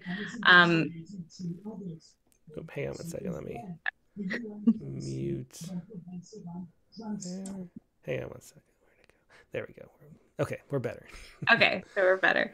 So um I actually it's interesting too that Dick Westheimer ended up having a PR poem this week that was a hyphen because I wrote a hyphen like a day before for the prompt poem. And also I did something inspired by him because he found out that I always listen to like minimalist classical music when I write. And he mm-hmm. was like, How can you do this? He was very surprised. So I decided that I wanted to write a poem that focused on sound. And I realized I shouldn't be listening to music when I did this. And now I kind of think maybe listening to music is dampening my ability to write sounds because that part of my brain's already like checked off when I write. So, mm. well, that's really West interesting. influencing us all very much this week. well, he definitely always does, even when he's not here. He was here earlier, and he's on the road right now, so probably can't swing back in time. But yeah, uh, Westheimer does have influence, and I, uh, I don't know, I can't write. I don't know. I don't really know what I do with with music. Maybe I have music sometimes. Maybe I don't. I don't know. I can't remember what I used to do like 20 years ago too. Did I have music on? I'm not even sure. Well, well, you're very accommodating to my weird music. I'll say that much. That's true. I, I, definitely don't mind. Um, so there's that. well, let's hear your poem. This is delay. Yeah. Okay, delay. The screech of the swing, the metal chains bolted to blue, the pause of the girl before she knows what to do. She digs her nails into the wet mulch. Another kid yells, "We!" just on time to soundtrack his plastic descent down a slide. The squeak of her sneakers climbing back up. Kids stomp and scream before they're forced to leave. Car doors slam. Even the sun seems to speak. Her silent smile, her little hands squeezing the monkey bars, kicking her feet. Waiting to hear Mama, a frozen drinking fountain. Yeah, I love that haiku at the end too. Uh, a Haibun, and you can do, you know, we saw a Haibun uh, that Dick Westheimer shared uh, at the beginning of the show. But you can do Haibun uh, around anything, and a, and a Haibun around a lineated poem like that works too. So really interesting uh, use of that. Um, do you, the one thing I worry about with that is um, is is not making it clear or not like knowing for a reader that that's what's going on. Like it seems. do, do, you think that that is that something you worry about doing a poem like that? It definitely doesn't happen when you read it out loud because you hear the sort of the pause. But I wonder, I wonder if that's ever an issue. I don't know. I don't really feel like I feel like if it doesn't work without explaining what a Haibun is, then your poem is not actually successful. So I feel like I feel like it has to. And I mean, there's so much, you know, random line delineation and things like that that don't have a purpose. But I think even without knowing the Haibun form, you can look at something and understand that the haiku is like a really intense version that's heightening the meaning of the poem. Mm-hmm. Although reading a lot of Haibun does does help. But anyway, I think it probably does. Yeah. Mm-hmm. Um, yeah. So it was a delay by Katie Dozier, and uh, and so mine for this week was um, you know we we uh, I went to with my son and daughter. Um, we went to one of the California missions um, because you know I think I guess in every like California class there's a project where you have to make like a, a model of one of the missions and they and for extra credit points you can go there and so my son really wanted to do the San Diego mission, which is the oldest one. And he found, he tells me later that it's because it's the easiest one to build a model out of. So he's already like halfway there. Um, but so we went to the San Diego uh, mission on Sunday. And this is just a little story of uh, what it was like to be there. Here we go. This poem is called Grace. The usher tried to usher us in with a graceful sweep of his gracious hand. He gestured toward an empty pew in a nearby row, as if the polished wood were waiting only for us. We didn't mean to disturb the service, which must have been a Catholic Mass in the ancient mission now restored. We'd entered in a moment of silence and thought the silence empty, but here it was, full of the flesh, the priest was saying, as the parishioners lifted their heads and replied in unison in the language of the light that flickered from the candles that lined the little chapel's painted walls. I'm sorry, I mouthed to the usher, who bowed his graceful head. I'm sorry, I said, backing out the double doors and down the concrete steps and down the little hill, and only then, from the safety of the street, could we hear the choir's graceful song. There's Grace, a little story from uh, the San Diego mission this weekend. That's wonderful. Oh, thanks, Katie. Glad you like it. I did Um, like it. I was jealous I couldn't go, but now I feel like I was there, so that's good. I know, yeah. And then we went to the Torrey Pines too afterwards. Another nice, fun place. The the only the home of the only Torrey Pines pine tree in the world. So that was fun too. By the sea, by the ocean there. We had a nice trip. Wish you could have come. Um, but we will be together for uh, the prompt or for the uh, poet poetry space. There's so much Nice stuff. I gotta like cycle through other things we do. The poetry space this Thursday. What are we going to talk about? Uh, we are going to be talking about the hot topic at hand, uh, which is thanks in part to Julian Matthews, I think, messaging both of us and saying he suggested we should do an episode on it, which is going to be plagiarism. Uh, we want to look at not only the current plan- plagiarism scandal in poetry, but also just plagiarism as a whole, including Michael Dylan Welch's deja vu, which I just love any excuse to say. So, yeah, Yeah. I think it will be fun on Thursdays at 3 Eastern over on X. It's true. It's Thursdays, three o'clock Eastern. We'll be talking about that over on X or as a podcast. All I have to do is list, list uh, the poetry space anywhere you get your podcasts, and that'll come up. We talk about a topic for an hour. A lot of people you see here uh, stop by there as well. Uh, you know, Dick Westheimer, uh, Brian O'Sullivan, um, etc. And uh, we have a lot of fun talking about a topic. And the plagiarism thing you talk about is a pain in the butt, I have to say. I mean, we always Google you know everything we publish you know we google certain lines to make sure that it's not stolen from someone else and it comes up sometimes um, but this is somebody who is just really prolific about uh, plagiarizing, and uh, and it makes me think maybe I should you know spring for some uh, some better plagiarism software or something because I don't know if Google catches everything. If you're pulling stuff out of a print magazine, uh, Google's not going to find that. So maybe we have to Um, start uh, working a little harder at the plagiarism. Maybe this guy's whole plan is just he's going to long con somebody into hiring him for plagiarism control. That's where he shows how much maybe he got he had away some with it. stock in one of those companies that does plagiarism software. Wants to have it be bought by Submittable or something so they can check automatically.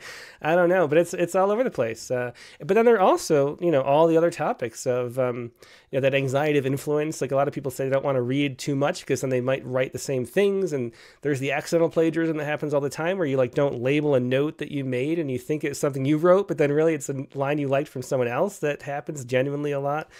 Um, so just keeping track of notes. And then the deja vu is a fascinating topic too, because um, you know I, now that I've lately the last couple years I've been reading a lot more Frogpond and Modern Haiku, and you can look back at an issue from like 2005, and then you see a haiku that's kind of similar. There's so few words that um, you know things repeat, and so there'll be. I, I've noticed one in like 2005 that was uh, very similar to one in the current issue, and and not intentional. It's just that deja vu that uh, Michael Dylan Welch was talking about. So a lot of things to talk about with uh, with plagiarism. We'll be doing that on Thursday. Yeah, I hope that you guys all come and we won't plagiarize what we just talked about for the space. It'll be new Well, content. that's another except Can you plagiarize yourself? That's another. I don't know. I don't know either. We'll find out. But anyway, thanks, Katie. And I know you know Charlotte is there and might be uh, awake and not nap time. So if you can't come is, back, I don't blame you. It's okay. Okay, all right, okay, thanks. Bye. All right, bye. Take care. And that was Katie Dozier, our prompt poems editor, uh, with our two prompt poems this week. And let's go to uh, what everybody else has. Um, and I expect, well, I thought it might be a shorter open lines given the different time, but we have uh, 16 people on the Zoom, including some new faces, which is great. Let's go to a familiar one first with Zachary Honeycutt. Ended up first in line this time. Hey, Zachary. Hey Tim, how's it going? That's great. Good to see you. Yeah, how you doing? I'm doing great. I'm so glad I'm not the only one in that boat because I OCD about that all the time. Like reading when I read a bunch of poems that I admire and then I'm like getting inspired to write a new poem. I yeah, I thought I was the only one. I'm glad. Yeah, I'm well, I mean, I, in one way, like everything under the sun has been thought of before. There's a great essay um, by my friend Eric Campbell, who's been a guest in the Rattlecast, The Accidental Plagiarist, that was viral at a Virginia Quarterly Review years ago about uh, about just that topic, and it is it is a sort of a stress that maybe we should get over because it just happens. I like that's why I like the deja vu concept. Maybe we should be a little more gentle to accidents, uh, even as we punish those who uh, who you know, violate the rules on purpose. But, uh, but anyway, what do you have for us this week, Zach? Okay, so I uh, I took a trip off the beaten path, and uh, I wrote another villanelle for an epigraph poem about one of my favorite chapbooks, Adult Night at Skate World by Christina Callery. Oh, great. Yeah, I had a copy. If you remember, she was a guest uh, for the Halloween show, and I couldn't find my copy. So apparently you were the one who stole it. I plagiarized. Um, but uh, yes, I'm going to read this. This, this, I think the best way to describe this villanelle is just that I tried to write something that would encapsulate the, the overall mood that I felt after I read a bunch of her poems, which I really admire. I love a lot of her poems. I think my favorite one from this book is probably Harvest Moon on Trash Night. And I also love Misconnections, which is where I got this quote. Adult night at Skate World. Yet even you are no less lucky than all us dingbat romantics the world over. Our hearts electric with longing to touch the impossible, the way lightning rips its jagged course across the sky. And so I titled this A Villanelle for Christina. I could feel her presence in every word floating over me somewhere in between heaven. The ghost of a romantic, lingering unspurred, encapsulating the absurd. The lovers who lost their chance at heaven. I could feel their presence in every word. Like that Detroit burnout who flipped the bird within Christina's head. That writer's island of heaven the ghost of a romance lingering unspurred, making itself known by haunting each word upon the checkerboard floor betwixt your heaven. I could feel your presence in every word, clinging like death after the voice of a life unheard. Storyteller telling stories of others' secret heavens, the ghost of a romance lingering unspurred after life in the aftermath of English from poets undeterred, from retelling stories of their fall from heaven. I could feel your presence in every word, the ghost of a romance lingering unspurred. really interesting villanelle. Thanks so much for sharing that, Zachary. That was uh, Adult Night, or uh, a villanelle for Christina author of Adult Night at Skate World, and I, I know she watches the show, so she'll probably catch that too. Um, and a great reminder too that um, um, that you don't have to share. And I, I, should say this, but I keep forgetting. If you have a, if you don't finish the prompt in the time of a one week, you can share an older prompt two poem. It's just anything that's been in the prompt lines. Um, you know, the new poem hopefully too, but uh, but older poems are great too. If you didn't f- quite finish one from last week and want to f- pub- or you know one's published later and you want to share that, anything you want that's been in the prompt line series is part for the prompt lines. So thanks for sharing that. You have another small one too. I do. Do I have time? Or, um, yeah, I mean, it's only a little. It's less than a full. Uh, yeah, why don't you just read that? Go ahead. So, is, is this, for my, this week's prompt? Yes, it is. This okay. is this week's prompt. Okay. This is called Mamacita. I was trapped in the wrong time, like an old soul trying to evade a young body. I notice a young lady wearing the loudest skirt that I have ever seen, and she's broaching the invisible line between us. The fabric of her megaphone is a maze of floating lines that wrap around her over and over again, tightly clobbered by a crowd of leopard print spots announcing her arrival. She leans against my desk suggestively, back turned to me, saying everything by saying nothing. She had creeped up to me pretend casually, as if she was trying to make her rehearsal look seemingly every day. But I saw her coming a mile away. She lets me know her thoughts by her language, but my eyes reply. They say, Yes, I'm well aware of you. Interesting. Mamacita. More uh, more horror poetry from Zachary Honeycutt. Thanks so much for sharing that, Zachary. It's always fun having that uh that, that different type of poetry coming in. Yeah, thank you guys so much. See you guys next week. Yep, take care. That was, that was two by Zachary Honeycutt. And uh, let's go to uh, Sharon Ferrante next. Hi, Tim. Hey, Sharon. Yeah, great to see you. Um, I love the interview. Did I unmute my? Can you hear me? Yeah, yeah, you're good. Yeah. hmm I love the interview with Rimas. Thank you both for that. Yeah, it's so interesting to uh, you know a culture I, I knew very little about, and then getting to hear you know I read the whole book by one of the most prominent poets in, in Lithuanian history. It was fascinating for me personally. Yeah, he was interesting, and I love the poems. Yeah, I I love German. I love the German language, hmm and I just wish I could like write a whole one or translate one, but no, it's not happening. Yeah, And I did write one poem one time with just the title in German. hmm So I do love that. It was really interesting. Thank you both for that. yeah. Well, I'm always jealous of, of anybody who can you know speak multiple languages, let alone translate. And I, I wish that you know that's something I could do. It's never never my strong suit. so Yes.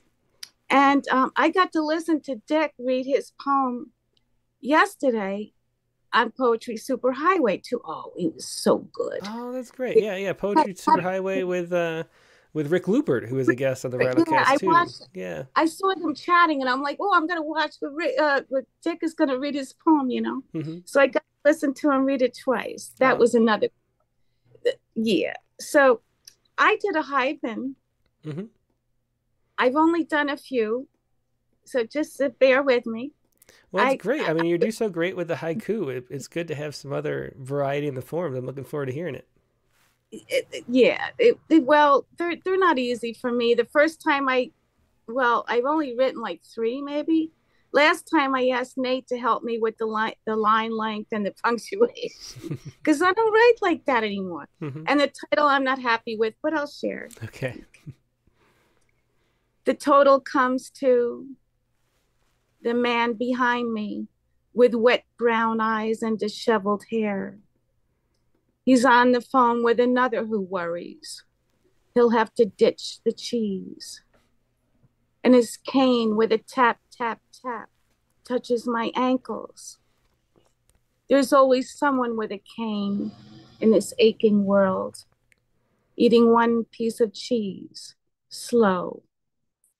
So I whispered to the cashier to add a $50 gift card to my order and give it to him.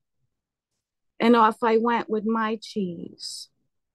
Now, every time I eat a piece of cheese, I think of him and feel the tap, tap, tap of his cane touching my ankles. Checking out craters on the moon, a hungry man. Oh, that was just wonderful. I love that, Sharon. I, I love too that line. There's always someone with a cane in this aching world, eating one piece of cheese slow. That is great and great haiku too. Really wonderful. I so thank you. It was great to write it. Thank you. Uh, thanks. Always great to see you. Thank you. Yeah, it was Sharon Ferrante with uh, The Total Comes Too. Um, next, let's go to uh, Carolyn Cobb. Hello, Hi, Carolyn. Good to see you today. Good to see you too, and everybody else. um, speaking of languages, my my um, poem is the title is in French, Ah, well, perfect. Enchanté. And what And, does uh, that mean in French? I'm so bad. I can't. I mean, This comes from well, it the way I learned it is um, my husband is Spanish. When I first met him, we spoke English because I at that point I didn't really speak much Spanish. But at the end of the conversation, he said "encantada." huh. and I kind of sounded nice, but it didn't dawn on me till a little later that that means enchanted. Mhm. And I thought, well, that's a nice thing to say. Then I found out that that's actually when we say pleased to meet you in Spanish, they most often say encantada. Oh, that's And interesting. That's enchanté. Ah, I didn't know that. Yeah, that's great. that's where the title came from. So this is something that happened just this past week. Enchantée. I was sitting next to her. She seemed to look at me in a curious way. So I smiled at her. She smiled back joyfully.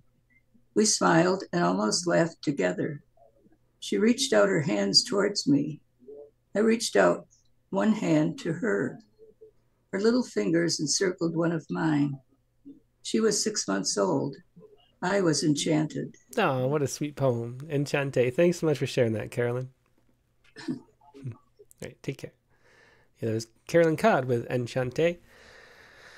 Um, next, let's go to uh, Nancy Tennell. All right. Hello. Hey, Nancy, great to see you. Oh, good to see you. I have loved every prompt this whole month.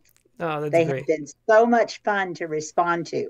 And mine too has a different language title. It's called Terra Beata, Ah, Latin. hmm Terra Beata. Can you want to tell us what that means too? For I think Terra is Earth. Earth. What is Blessed it? Blessed Earth. Blessed Earth. Ah, gotcha. Blessed Okay. Earth. Yeah. Mhm. I always loved riding in Grandpa's farm truck, trips to the feed store or to the tractor shop for parts. He sometimes passed other farmers coming from where we were going. Their greeting was always the same one hand raised slowly into the air before gently returning it to the steering wheel. No furious waving like seven year old me grinning to reveal the gaps between my front teeth. Though I thought their ritual was odd, somehow I knew not to laugh. It was many years later before I realized their raised hands signaled what they share their brotherhood as keepers of the soil, the necessity of perseverance, their unique vulnerabilities. The farmers, like priests of this blessed earth, always lift their hands to offer a mutual blessing. Oh, that's great. I can see that so vividly. The slowly raised hands. Thanks for sharing that. Have you Great seen memory. people do that? Yeah, definitely. I have. okay. Thank you. All right. Yeah. Thanks so much. Uh-huh. Yeah, that was Nancy Snell with uh, Terra Beata. Um, next, let's go to Paul Mitchell Bernstein. Hey, Tim. Hey, Paul. Yeah, good to see you. Good to see you too. Um, yeah, yeah, that tractor thing, I've seen that.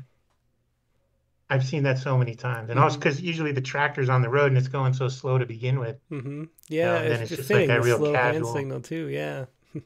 Yeah, yeah.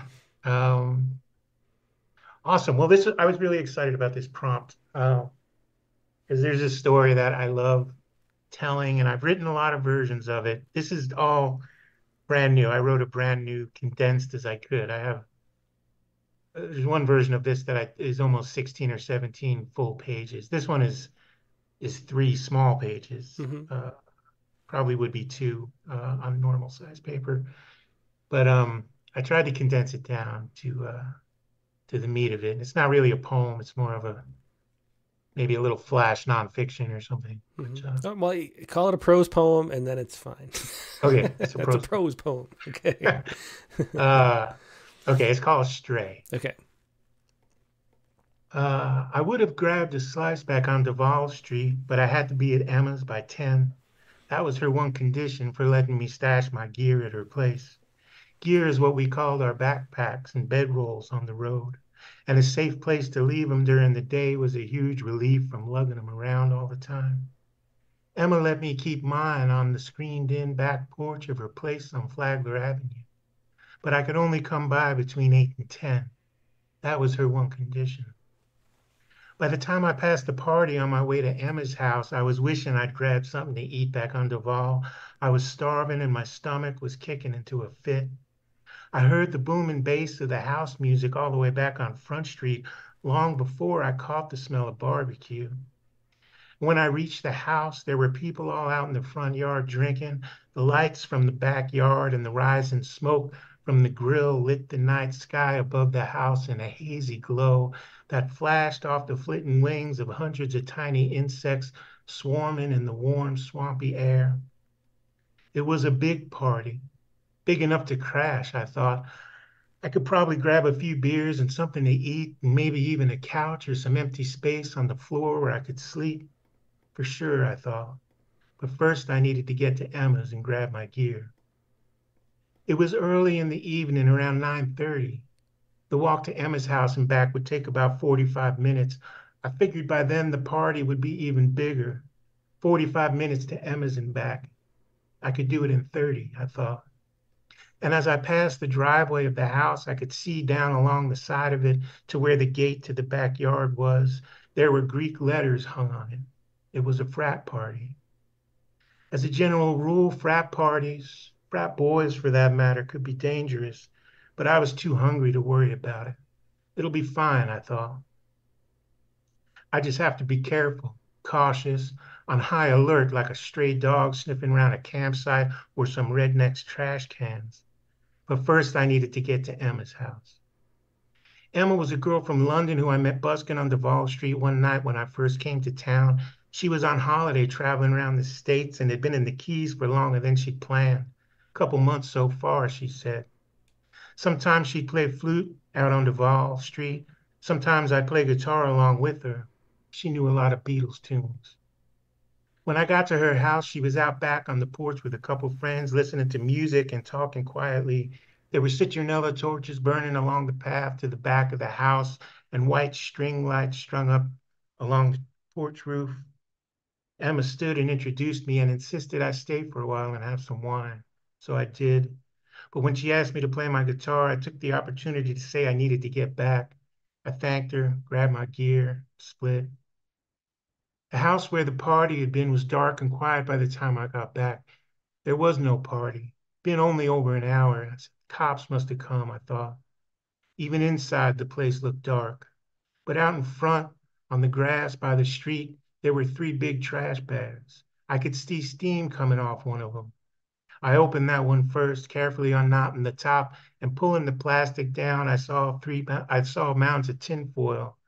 I peeled some of it back to find a pile of chicken, breasts, legs, thighs, and wings, still hot and nicely charred. I pushed that plate aside and tore back a bit of the next mound of foil. That one was hot dogs, already in buns, a proper pile, more than I could count. Under that were mounds of steam and foil I didn't even bother to check. Instead, I untied the next bag. It was full of unopened bags of buns and napkins and forks.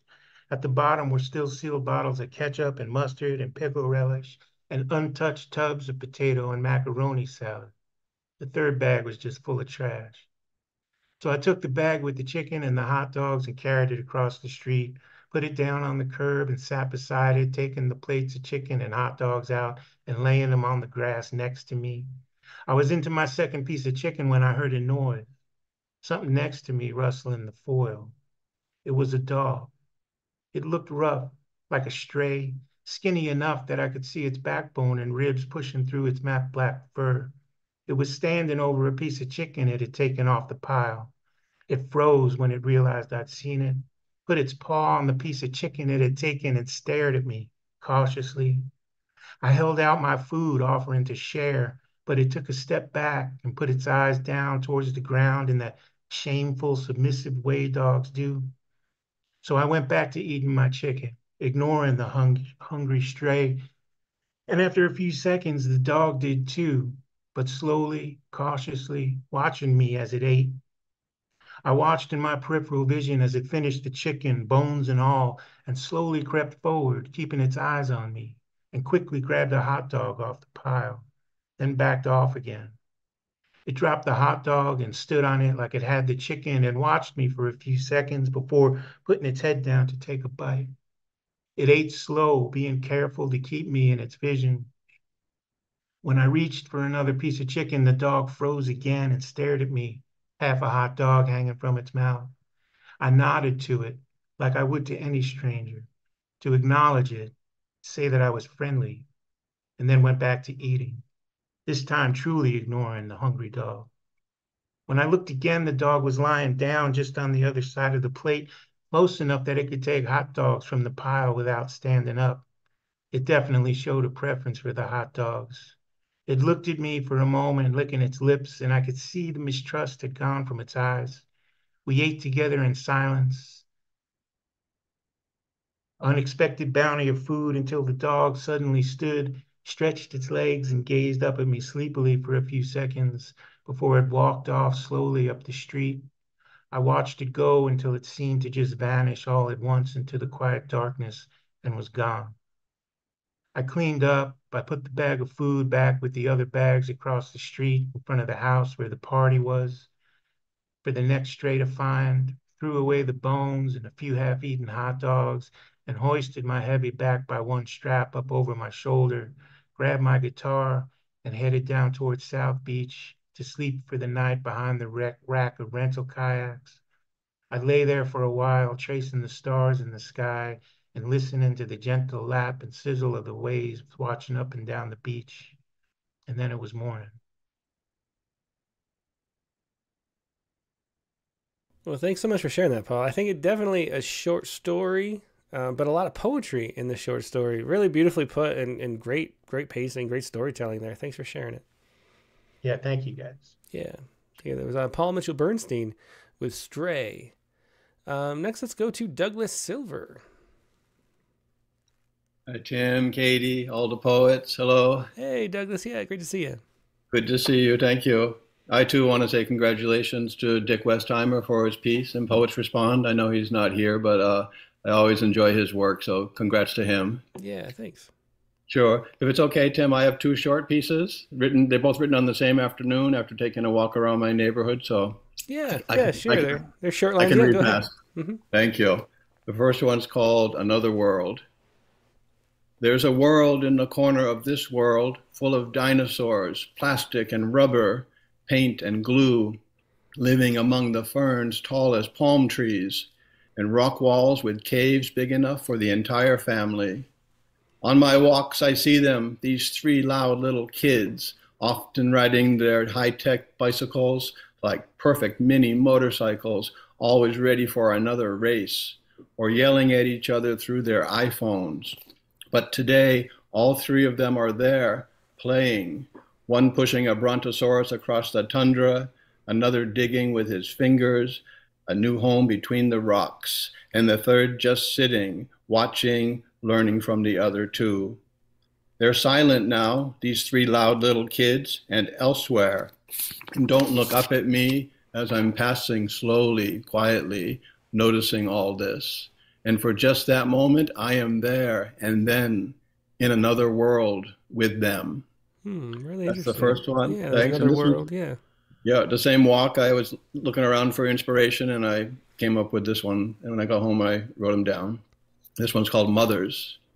She was raking the leaves on the median strip, 80, maybe 90, he thought, but still flexible enough to bend at the waist with straight legs reaching for another handful of soggy leaves.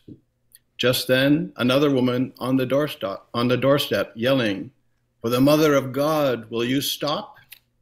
He glances back at these two, mother and daughter, maybe, grandmother and granddaughter, more likely, neither of them looking toward him as he continues on his way, contemplating God's mother. Oh, really interesting turn in that one, too. That was mothers, and then uh, also, Another World by uh, Douglas yeah, thank you, Yeah, thanks for sharing those. It's great to turn a walk into two poems. That's really wonderful. yeah, yeah, exactly.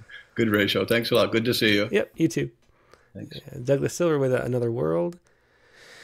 Uh, next, let's go to Rose Leonard. Hey. Hi, Rose. Yeah. Uh, great to see. Is this your first time being on here? I know the name very well. It is. Yeah, yeah, yeah. Well, yeah. So yeah. I'm I'm in England, so it's um, you know, usually it's the middle of the night, so oh, I can't join yeah. you. So. Well, I'm so glad you could make it on this special time, and hopefully we have more uh, more earlier shows uh, coming up too. So looking forward to. Yeah, well, that'd be great. okay, so um, mine sort of um, it's written as a persona poem, mm-hmm. and it sort of slightly stretches the um, the definition of the stranger. Um, but you'll see. Okay, yeah, let's hear it. it it's called Witness. Oh, and it's it's um harking back to days of um COVID lockdown. Hmm. Some days in that lost year, he had to question whether he still existed.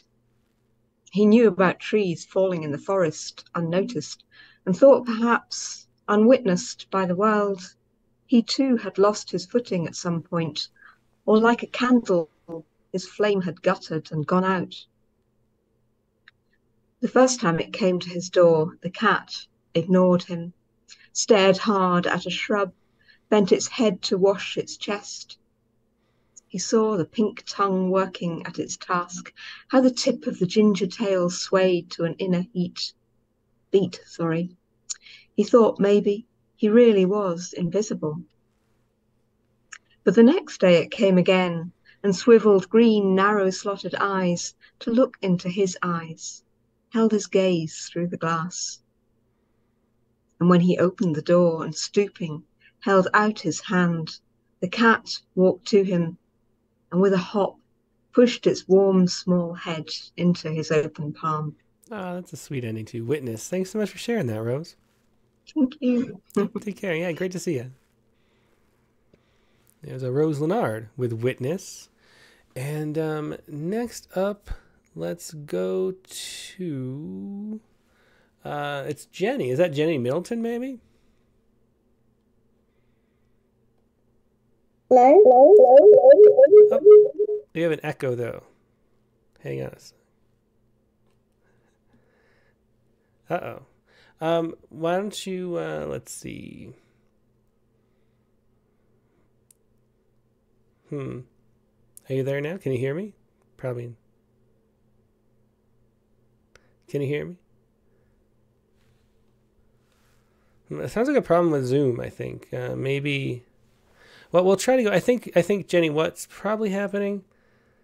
I don't think that's the case. So, um, so Katie was saying it may be logged in two places. I think the issue is probably like an external microphone and and external speakers not canceling each other out. Maybe because it's it's such a quick thing. Let me see. Can you hear me, Jenny?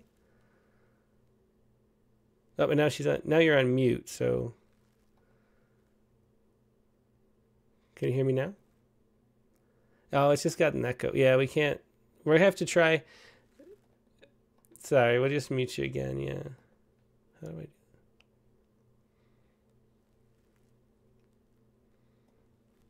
Yeah, I had I had put you on mute again, Jenny. But yeah, I think that the issue is there's like an external microphone, so you probably have to plug in headphones. If you have headphones, that'll probably fix it. Um. Okay.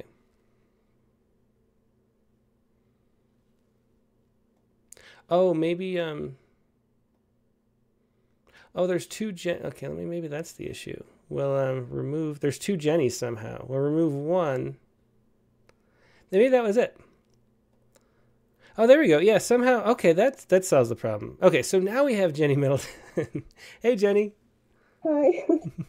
I'm I'm really bad at technology. I think I said that the one other time I phoned in once. I I try I try with computers, but it's always battle. No, it's totally fine. So we figured out what happens, and it was uh, it was Katie Dozier who let us know that there were two Jennies um, logged in. So Yes. somehow you were logged in twice and had like two Well, I- Zooms open, I guess, which is I I tried to log in and then I tried to email my phone. The Hmm. email thing didn't work, and then it said something about trying to log in with a sound thing, and then I clicked that, and then all the I had strange kind of bizarre uh, double kind of speak coming from the computer, and I tried to log off that because obviously then I couldn't even hear what anybody was saying. It was like hearing like a sort of surrealist video or something.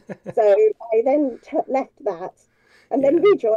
So it's yeah, I had a kind of bizarre sort of beginning. well, it's okay. Don't worry about it. It's great to finally see you. I mean, we have, uh, you know, we we definitely recognize you from the comments all the time. It's great to have you on a time you can join from from the UK. Yeah. Uh, what do you Um, have? What do you have to share with us today? Oh, so I wrote a poem um, in response to the prompt about uh, uh, an encounter with uh, a silent encounter with a stranger. I have to say, all of Katie's prompts are really um, interesting. They they always like provoke something, and you know they're very accessible, and you know that they're um, ones that I think lots of people enjoy writing for. I, I know that I do. So anyway, this is the one that I wrote that I was going to share. I haven't been able to email it, so I don't think you'll be able to show it on the screen. Mm-hmm. Um, but it's called Grapefruit and it's a haibun. Um, so first part prose and then followed by high haiku. So Okay, yeah, go ahead. um, grapefruit. I'm buying wine and a red grapefruit, but the self scan scanners have died, and the machine that prints labels for loose fruit and veg hasn't been programmed to recognize grapefruits and thinks I'm buying an onion. I have to queue, await to be served by a man with disheveled, silver brown hair, stubble, and tied eyes. He scans the wine through the laser, but then rolls the grapefruit to me and lopsidedly smiles. It's mine for free, and I take it. Knowing I am complicit in a crime and tuck its round smoothness into the Hessian bulk of my bag for life. Sweet orange, red with pomelo exchanging blushes.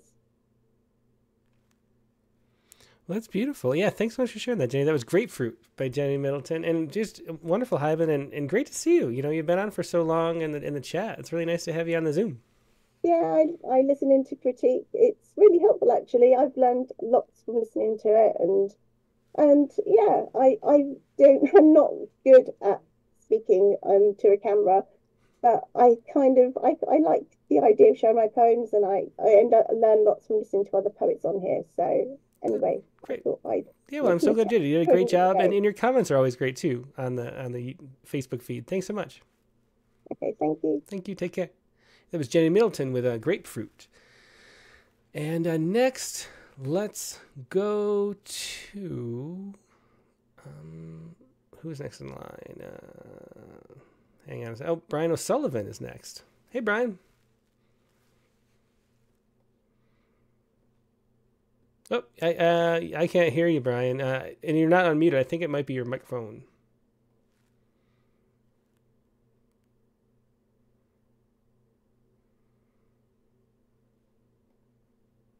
Well, we'll swing back. I don't know. For some reason, your your mic's not working, even though you're not muted. We'll come back around. Uh, so let's go to Steve Harrell then.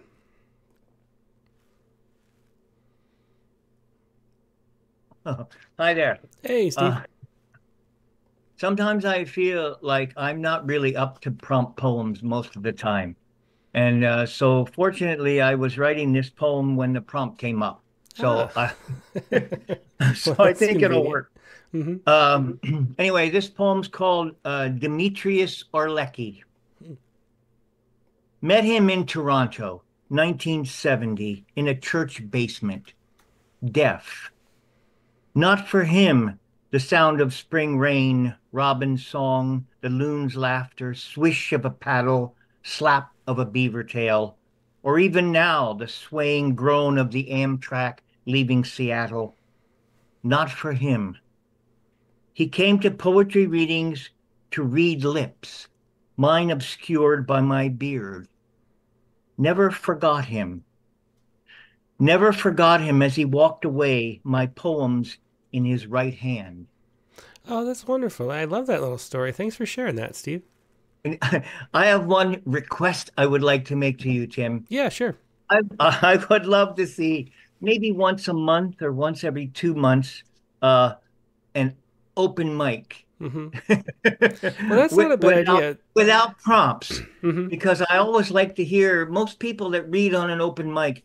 I mean, they don't pick their worst poem to read, Mm-hmm. you, you know. So I I often appreciated the open mics, and I, to be honest, I missed them. Mhm. Okay, yeah, well, that's a good idea, and I think maybe uh, you know once a month open mic, and we also wanted to do. Uh, is Katie still here? We want to do a kukai too. Maybe we'll start doing that. Yeah, she is. She's nodding her head. It'd be a lot of fun to do a haiku kind of open mic too. Yeah, that'd be a lot of fun. thanks, thanks for that suggestion. Okay. Anyway, thank you. I'm I'm going to get back to YouTube so I can read things. Great, thanks so much. Okay. Yeah, that was uh, Steve Horrell with uh, Demetrius Orle- Orlecki. Um, and next, let's go to uh, Lisa Seidenberg.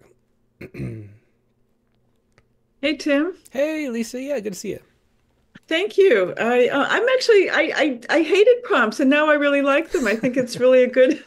It I is think it's a good. I mean, I yeah, when I've been stuck and you know not knowing what to write about or anything, you just write to whatever, and then magical weird things happen. It's really really wonderful. Things come out of your head you didn't know were there. Exactly, and that's almost the whole point is to get those things out. So it's fun having no direction. Right. Yeah. Um, and by the way, I really thought great interview with Rimas. So that was what I thought that was just spectacular. Oh, thank you. Great, great interview. Great. He was so interesting. I think if, I'm not going to make another request, but I think I think it's great to have poets from other countries. Really, you know, ex expands our universe. Yeah, it's always fun when we get to have that, and yeah, yeah, definitely. So anyway, here's my poem. It's a bit lightweight following uh, Rimas's poems, but um, okay. It's called A Boomer Conspiracy. The guy in the grocery store flashes me a knowing glance, sizes up my boho hat and Joan Jett eyes as I assess his distressed moto jacket, our proto-punk, paint-splattered cuff jeans just so downtown look. I smile at the fellow boomer who tosses back a conspiratorial nod. We bond like toddlers in preschool who spot other miniature creatures. We're aliens from another time of Blondie and Batman, Jane Fonda workout videos on VHS, no phones in your pocket, and everything costs so much less. No words exchanged or needed in our brief meeting. We felt the other's knowing glance, though fleeting, as tangible and real as the cash and coins we paid with at the checkout counter. Oh, Thank very you. nice. Yeah, I love I love all these little stories about um about the boomer conspiracy is great. And, and I just love Thank seeing these different interpretations of the prompts. That's what's so fun to me. Thanks for sharing that, Lisa. Thank you. That was uh, Lisa Seidenberg with the Boomer Conspiracy. Um, next, uh, we have Rob Harris. Looks like from a car. Hopefully not moving. Hey, Rob. Uh, no, not moving. Hi. Uh, can, can you hear me okay? you- yeah, we're good. How you Uh, doing? I'm trying to figure out using it on a phone, and my battery's going to go dead soon, but hopefully I can get this in before it does. Well, Um, glad we got you. Yeah, let's hear it. thanks for having me on. Um, I, I enjoyed the interview too, and uh, it was it's always good to hear um, what people's processes are. So I thank you for that. Yeah, thanks. Um, mine is called uh, Everyday Urban Ritual, and it's kind of a unique kind of format, but um, I didn't know what to do with it, so uh, this is what I got. Nice. Um, it's uh, it goes like this. Uh, I was driving southbound on a foggy day in downtown Chicago when she darted out towards the painted yellow median in the middle of the block. I've been told that jaywalking is illegal, at least in theory, yet it's also a well established practice in the city where I live. There was nobody else following behind me in the same lane, so I stopped the car and flashed a peace sign in her direction. She noticed this and smiled at me with a short wave while she scampered across the rest of the street in front of my car. She kept on going toward her destination, and I did the same because an everyday urban ritual had once again served its purpose. Oh, that's great. Yeah, I love the uh, I love the interjections there.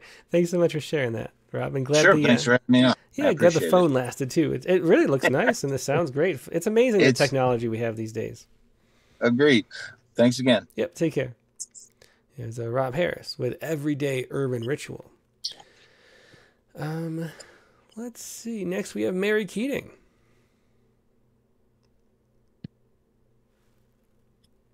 Hi. Hi, Mary. Yeah, great to see you too. I thought it wasn't going to be for a while because I came in so late. Well, we're running up. I mean, we have a few people left, but yeah, uh, and I'm looking forward to hearing what you've got. What do you have for us?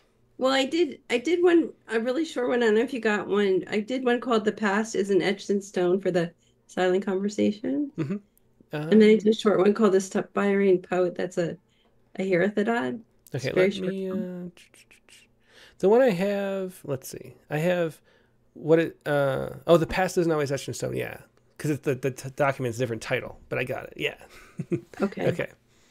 And then I did a, like a six line short one, but you don't have that one. Uh, I have. Let's see. Yeah, I have the past isn't always etched in stone, and then I have aspiring poet. Oh, you do? Okay. Yeah. Okay. So the past is for the silent conversation. hmm Okay. The past isn't always etched in stone. I stumbled across this grave only once before, my name crisply chiseled in gray granite above a lifespan carving out 40 years, a century before I entered this earth. And though I'd come to visit my mom, ask if she forgave me for not believing she resided six feet under, or that my voice carried through a ton of dirt, through the mahogany coffin her brother and I agonized over, choosing the day after she died, leaving us to imagine her final wishes. I found myself carrying on a silent conversation with a stranger just because we were namesakes. I asked her all kinds of questions about her life, how was to be single like my mom before women could hold property in their name, hold a job even if it meant some man couldn't support his family. Asked her if she thought I might be her reincarnation. If it really mattered that she was buried under a Japanese maple. If she thought my mother appreciated that her lot had a panoramic view of the world beyond. If she might find me reprehensible, too, for not visiting my mom since she died 10 years past, spending my time instead with strangers. A gust planted a maroon leaf on my cheek. I blew my doppelganger an air kiss in return, strolled across five rows of headstones, up 50, and began the conversation I always meant to have. Oh, it was very interesting. It reminds me of a time uh, I got a random email from somebody who was a Tim Green. He was like, I just wanted to talk to another Tim Green. So we had an interesting conversation. Thanks for sharing. That was an interesting. Yeah, I came across, I did come across a, in a headstone with my name on it. It was kind of freaky. Yeah, that would. um, okay, well, And- let's. Uh, the other one is a short one, too. Do you want to read that, too? Yeah, it's a Herethid. I don't know if you know that form. It's a Welsh form. It's and I put the pattern below. Yeah, that's interesting. I not I haven't heard that before. That's uh, and so it's uh, So this is the um, what did we call the uh, metaphor we had to do? uh huh. The period in her life. Aspiring poet. I dreamt of cooking the finest meal, subtle flavors bursting with appeal beyond Michelin's four-star ideal. Reveled in how that fame would feel. Awake, fresh produce rotted in my fridge, while some minced sloth began to congeal. Hmm, very interesting. And that's an interesting form too. The uh, the Yeah, isn't it? athoda. How do you say that? I think you say it a herethidad, but don't quote me on that. yeah, well, that's really neat. And that, yeah, I like that form too. That's fun. Thanks for sharing that. It's a fun form. Thank you. Yeah, yeah. And so everybody watching at home, I mean, it's it's too intricate to even describe really the way those rhymes are hidden in there. That's really neat. Hmm. Yeah, thanks, Mary. That was uh, Mary Keating with a aspiring poet, and then uh, her other poem as well. Um, okay, let's go next to um, oh Brian O'Sullivan was leaning forward. I think he might be ready. Let's see, Brian, are you there this time? Oh, can you hear me? Yeah, we can. It worked perfectly. So Oh, whatever yay. happened, that was the problem. Yeah, I had to apparently switch to a different microphone driver for some reason. Sorry about that. Oh, no problem. Yeah, now, well, I'm like- glad you're here. Yeah, it just occurred to me that I should have written a silent interaction prompt about not being able to use my microphone last week either on Poetry Space. It would have Yeah, been that good. would have been I didn't think of that till I'm now. surprised no one did that. The uh, technical difficulties version of Yeah. the prompt. Yeah. but um, I was having trouble thinking of a silent interaction, so I wrote about one that I wasn't alive for, but that I read about. Also, a connection to the um, poetry space. Oh, and that's also, right. Yeah, I saw this on the. Pr- yeah, Yeah. yeah. Katie told me about it. And I went the uh, Villanelle route again. hmm Well, very So, fun. Yeah, I'm looking forward to hearing this one. Okay, the driver stopped to watch. August 12th. I see the president almost every day as I happen to live where he passes to or from his lodgings out of town. I see very plainly Abraham Lincoln's dark brown face with the deep cut lines, the eyes, etc., always to me with a deep latent sadness in the expression. We have got so that we always exchange bows and very cordial ones. Walt Whitman, Abraham Lincoln. Yeah, and I should say, just interject that I didn't know this until we did that poetry space on, on Whitman, Uh-huh. that he was obsessed with Abraham Lincoln, which I did Uh-huh. not know and, and sort of found him intriguing and sort of, I don't know. And, and as far as I know, they never actually spoke. So, you know, I guess they were nodding acquaintances, but I decided to still count them as strangers. Um, At least from Abraham Lincoln's point of view, he might have just wondered who was this weird guy with the beard who was nodding at yeah, him. I'm not sure. probably. Yeah, really interesting. So, good old Abe and Uncle Walt exchange their cordial bows, and we all bring our business to a halt. Oh, the title, I'm sorry, is The Driver Stopped to Watch. Good old Abe and Uncle Walt exchange their cordial bows, and we all bring our business to a halt, whether stopping at the Star Saloon for a malty ale or answering some urgent call. Good old Abe and Uncle Walt, meeting on the heavens vault, make such a sight that we, enthralled, bring all business to a halt, to watch as our friend, looking like an old salt, and our epic president, deep-lined and tall, good old Abe and Uncle Walt, meet while armies still assault each other. We dream that even the arsenal brings its business to a moment's halt. We pay a heap of Galt's stamp coins to linger here before the pall drops, when good old Abe and Uncle Walt bring their business to a halt. Oh, that's great. Yeah, I love the the rhymes and the use of the the form there. The driver stop to watch. Yeah, very fun. There's a tiny one I see too. We do that one? Yeah. Yeah, sure. It's very small. Oh, yeah, it is small. All right, hold on. Okay, entitled Stolen from William Carlos Williams. Williams, excuse me for the typo. This is just to say I have eaten the snickerdoodles from this plate which you made, and which I'd so urgently asked for. Give me more. yeah, that's very fun. Thanks for sharing both those, Brian. Yeah, both Thanks. of them are a lot of fun. Yeah, take care. Shit. Yeah, it was two from Brian O'Sullivan, uh, including a fun uh, spin-off on the uh, on the plums. Okay, um, Bishwajit Mishra is next. Hey, Biz. Hi, Tim. Yeah, good to see you. How you doing? I'm good, thanks. Okay. yeah, before I start, let me, you talked about the plagiarism, mm-hmm. and I may have to confess something. Uh-oh. I wrote a haiku, and you know, it's one of those common lines that you use every day, but I, it, I, I gave it and submitted. Then I realized, wait a minute, I have, I have seen that line. Hmm. It was from one of the ones you posted.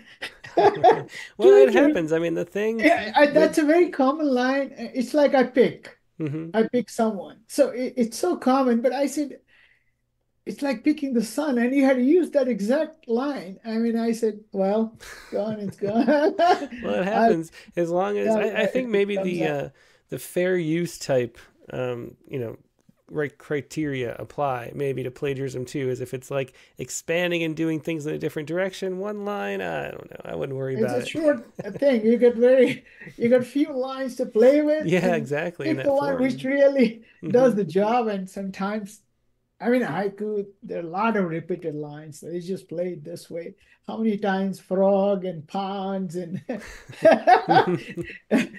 all those things haven't helped. But I, I, just thought, okay, if it comes out, I have to put it out and apologize to you. I might. well, that's okay. Don't worry about it. So, so what do you have to share here today, though? I I have prompt prompt poem that I sent by email. Mm-hmm. Uh, it's called "Thank You." Yep, we got it right here. Okay. Thank you. On a wintry Sunday evening, a woman with two kids arrived at your shop that you were about to close for the day. You had answered the CAA text call and asked him to bring them in with a blown tire.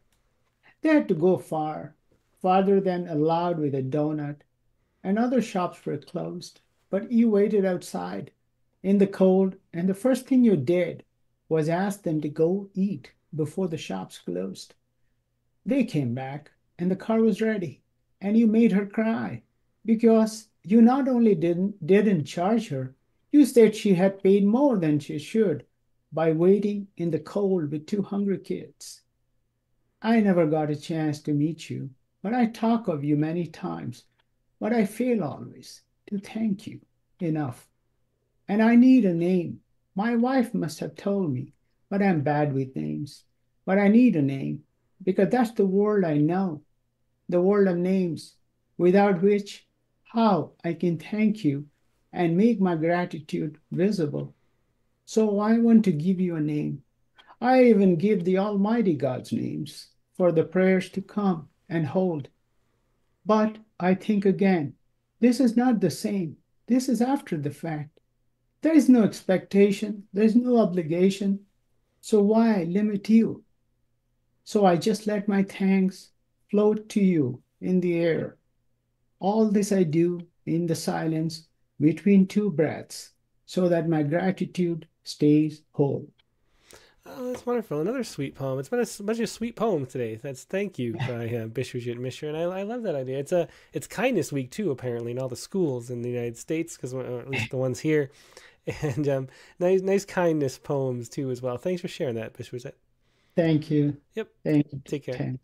Goodbye. Yeah. Bye. There's uh, Bishwajit Mishra with thank you, and uh, Susan Talley is up next. Oh, you're still muted. Oh, there you go.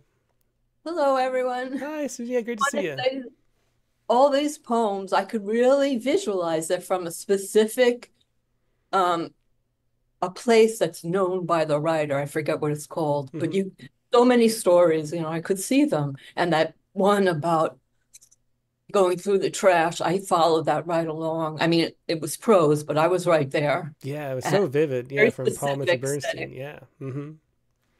So, what do you have to share? I also want to say one thing. Oh, yeah. Do we believe that dreams are encounters? Because that's a wide range of encounters. I don't know. I think if you believe that, then definitely, I do. Definitely for sure. Yeah. And uh, yeah. Okay. Henna's Secrets. I shouldn't have read the title.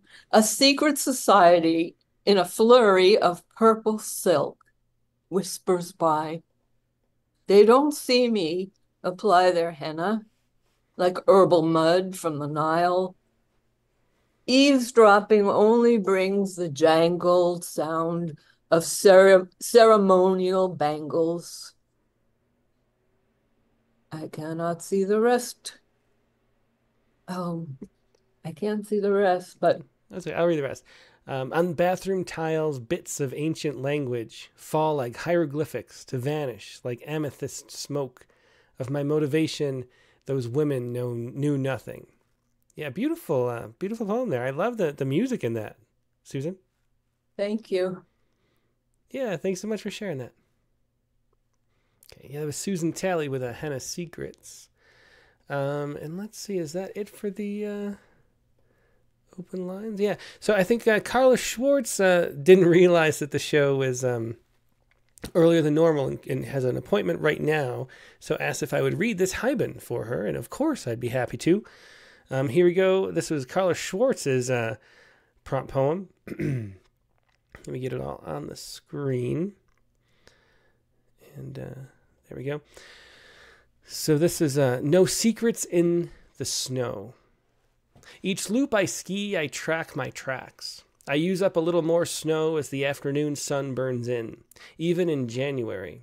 Each loop, each ski step, each glide by, I spy the footprints alongside my trail, their compression, the snow's concentration, the drilling down of snow's potential, their drilling down to bare ground. So to my trail crusher, my trail crasher, I say to you, seething in my mind, I say to you, why?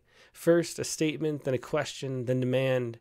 We have so few days cold enough to keep, cold enough not to wear the snow out, not to unveil the pine needles, the mud. How would you feel if your passions were trammeled, if something precious to you were trampled by a stranger? What is it about please stay off the ski trail? What is it about please go around the other way when there's snow that you don't understand? What is it about my prayers to hold my trail, my grooves, my lanes intact against the lingering of sun and rain these January days, these lengthening days that impels you to deny me? In snow, a man's foot, print media. How oh, very interesting. That's great, Haibun. It's, it's something I've, um, it's funny. I live in a ski resort town here on uh, Wrightwood, but I don't ski. It's a little too dangerous for me. I don't want to break break my bones. And you can see the ambulances driving by all the time. I think maybe um, I don't know if Carla does the downhill or the cross country variety, but I do know very well. Um, and then here the the culprit is the dog. Um, but we would make these like nice ski, like sledding runs with the kids, and then the dog would run all over and ruin them. And it's the same kind of thing. So stay keep keep off that dog and keep off those ski tracks. Thanks for sharing that, Carla. Really fun find Haibun there. Um, we had another one too. Um, oh, Ted Guevara has one, and also Nicole Christine. Let's see. So this is our stranger poem. Um, I'm sorry I've missed the last couple weeks. My energy's been low. I'm hopeful to make it through the entire night this week with prep lines. Uh, I think um, Nicole might not realize that it's an early show, but let, us read this poem for her. This is a stranger poem. Um, the, the title of the file is He Decided to Go for a Walk One Day. So maybe that's the title. That's the first line, too, though. Here we go. He decided to go for a walk one day. He took his umbrella to defeat the rain. He grabbed his rain boots, finished his morning routine. She decided to go for a walk one day. She grabbed her raincoat, her sunglasses on in her phone. The river looked so beautiful. She decided to go alone. He took his last sip of coffee, opened the door to breathe in the air, wanting to answer life's questions. Why does everything seem so unfair? She thought how nicely it would be to walk along the bridge. She came across him. About halfway through, his eyes were shaped like almonds. His umbrella got away from him, and she caught it with a whim, holding tight onto her yellow notebook. Sorry, miss, he said, clutching his mug with his hand. Oh, that's all right, she replied. Haven't I seen you before? she asked. Maybe I'm terrible at losing things. I don't mean to be a bore, she, he replied. Oh, you're fine, she said, with all her might. As they want, went their separate ways, she wrote in her notebook with her hands. Sometimes the things we lose are meant to be found in someone else's shoes. Ah, Someone Else's Shoes by Eva Christine. Thanks so much for sharing that, Eva. Um, and then uh, here is Ted Guevara's poem. He's got a photograph as he usually does. This is a uh, Renaissance type painting, but with um, uh, Superman holding like some kind of maiden um, as he flies up in the air with a red kind of cape surrounding them. So anyway, that's an interesting photograph uh, by or f- courtesy of Ted. And the poem here is this: the long and short of it. Here we don't fly till you're home for in our hands we fold carefully our cat capes. We don't know if they wrinkle due to honey or dye or just water. If it's honey, we can live with a slowness. If it's dye, we can stain even our fingers. If it's water, our reflex to put in our mouths eludes the thought of it being bitter till you come back home. It's a very interesting poem there. Uh, the long and short of it by Ted Guevara. Thanks for sharing that, Ted. And I do believe that's going to wrap up the prompt lines for this week. Uh, oh no, Dick Westheimer too. Let's do share Dick Westheimer's because he's not here, but he was here earlier. Um, we'll do so. We'll do one more poem. This is a near checkout at the largest supermarket in the world. That's interesting. I wonder where that is. Uh, I guess in Ohio, maybe. here we go. Uh, near checkout at the largest supermarket in the world. He was in the candy department too. The man in the motorized wheelchair. His beard was grayer than mine, and he had better hair. I was looking for good and plenty, my dime store crave, in the labyrinth of gumballs and jelly bellies and bazooka bubble and blow pops. What he was looking for, I'm not sure, but when our eyes scanned the aisle like phasers trying to lock on target, met, his look said we weren't going to find what we were looking for, at least not here. An older woman trailed slightly behind him, and said, and that look I got from her wheelchair guy said, I just want to get away for a minute. Be that boy who could eat jawbreakers without cracking a tooth, maybe pocket a pack of Charleston Chew as my buddy Donnie knocks something off a shelf to distract Mr. Chimes at the five and dime. I'd share with Donnie as we ran down to the river to sit, to skip stones and skinny dip. My look back didn't carry any fine story like that. I just crave that black licorice and pink sugar tint on my tongue to not tell anyone the silly thing I'd done. Really great. I love that last that last uh, verse too. Thanks for sharing that. That was Dick Westheimer's near checkout at the largest supermarket in the world. And that is going to wrap up the uh, prompt lines for tonight. Thanks everybody for sharing poems. Katie Dozier is still here, which means uh, Charlotte's probably still sleeping. Hey, Katie, how you doing? She is asleep. It is accurate. Excellent. Well, that's very convenient that she stayed asleep for the entire prompt lines. That was very convenient. I appreciate. I'm sure that's exactly why too. yeah, probably. She was just very considerate, and nothing to do with the bad night's sleep she got last night. No, nothing to do with that. okay. Well, um, well, since you're still here, do you want to reveal next week's prompt? Do you have it written down? I did actually, and I pulled it up on my screen. Aren't you so proud of me? I'm very proud. So, this week's prompt is going. Oh, we should also say that the month is ending, so you should submit your poems before the end of the month. Yep, and this week is going to be it's going to be February next week, Right. which means this is actually a February prompt. So Right. do you don't have to rush to get it in by this February first. Doesn't even matter. it's not even going to be listed on the website Yeah. until after you finish reading all the submissions a few days into February. Um, Right. But uh, but this will be the February, the first February prompt. So uh, it will be. yeah. Mhm. So just wait for it to be an option on that drop down menu and you can submit it when just you be patient. want. You have 29 days to submit. Yeah, you do. Yep. There you go. There Okay. is time. Okay. So the prompt is going to be to write a poem entitled A Brief History of X, where X is a word that needs to be translated. And then the poem is less than a page. Because I feel like if it's called a brief history of something, it shouldn't be more than a page, to be fair. yeah, that's a really good point. So, um, so uh, yeah, so then and that's written after the brief history of uh, of Vilnia, one of the poems we heard today from uh, Rimas Uzgiris. hmm And then also, of course, speaking to his translation, or at least a nod to his translation skills that I'll be envious of forever. Yeah, for sure. And not to to translating without having to actually know the language, which is nice. Yep. Yeah, that's true. I do. I so wish I could, you know, knew any language well enough to translate, but oh well. At least you have English kind of down, so there's that. That's true. Kind of, sort of. okay, well, thanks so much. Glad you could stick around, and uh, looking forward to uh, the the poetry space too on Thursday, talking about plagiarism. A lot of fun. Thanks for being the prompt poetry editor, of course. Well, thanks for having me as the prompt series. editor. yeah, there you go. Well, thanks, Katie. Bye. Bye. Yeah, it's Katie Dozier, our uh, prompt series editor. And now it's time for the Saiku. And the Saiku for this week was based on this article from the University of Princeton. Um, here we go. Let me see. Again, it's always hard to get the new, get them to fit on the screen. Here we go. So this is this thing. This is the uh, prompt, the story for this week. And it is this. Um, cellular scaffolding rewired to make microscopic railways. Isn't that fun? So um, there are these little microtubules that sort of, it's sort of like scaffolding within a cell. And these folks at Princeton University found a way to engineer that scaffolding and then use it like a little rail system to deliver like chemicals throughout the cell. It's an amazing little bit of nanotechnology.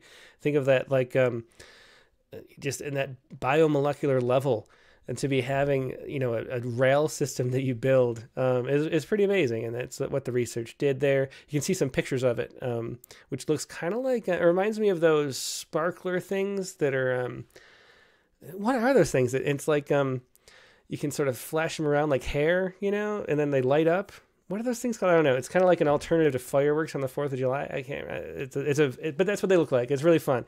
So anyway, that is the uh, that is the story I was reading this week, and then here is the haiku that was inspired by that. Uh, here we go. Thunder through the canyon train tracks. That should be thunder through the canyon train tracks. That's your haiku for this week, your sciku, and that's the show for this week. Thanks everybody for uh, sharing poems and for enjoying us at this earlier hour. It's a lot of fun. I have the whole day ahead of me now, which is interesting too. Um, but thanks to everybody who shared poems and the guest, Rimas Uzgiris. A really fun episode. Next week's guest in the Rattlecast is going to be George David Clark. Yeah, he, his second book just came out, Newly Not Eternal. He's a wonderful formal uh, leaning type poet. Um, there's a really interesting um, sort of a variation on a crown of sonnets as part of the sequence here. Um, it's a wonderful book by George David Clark. He's also the editor of 32 Poems, which is one of my favorite print magazines as far as poetry goes. So it'll be fun talking to him about poetry, 32 Poems, his new book, all of that. Coming up, Rattlecast number 231 the actual regular time. I was wrong last week.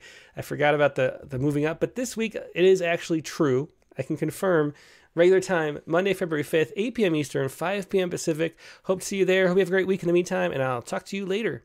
Good day.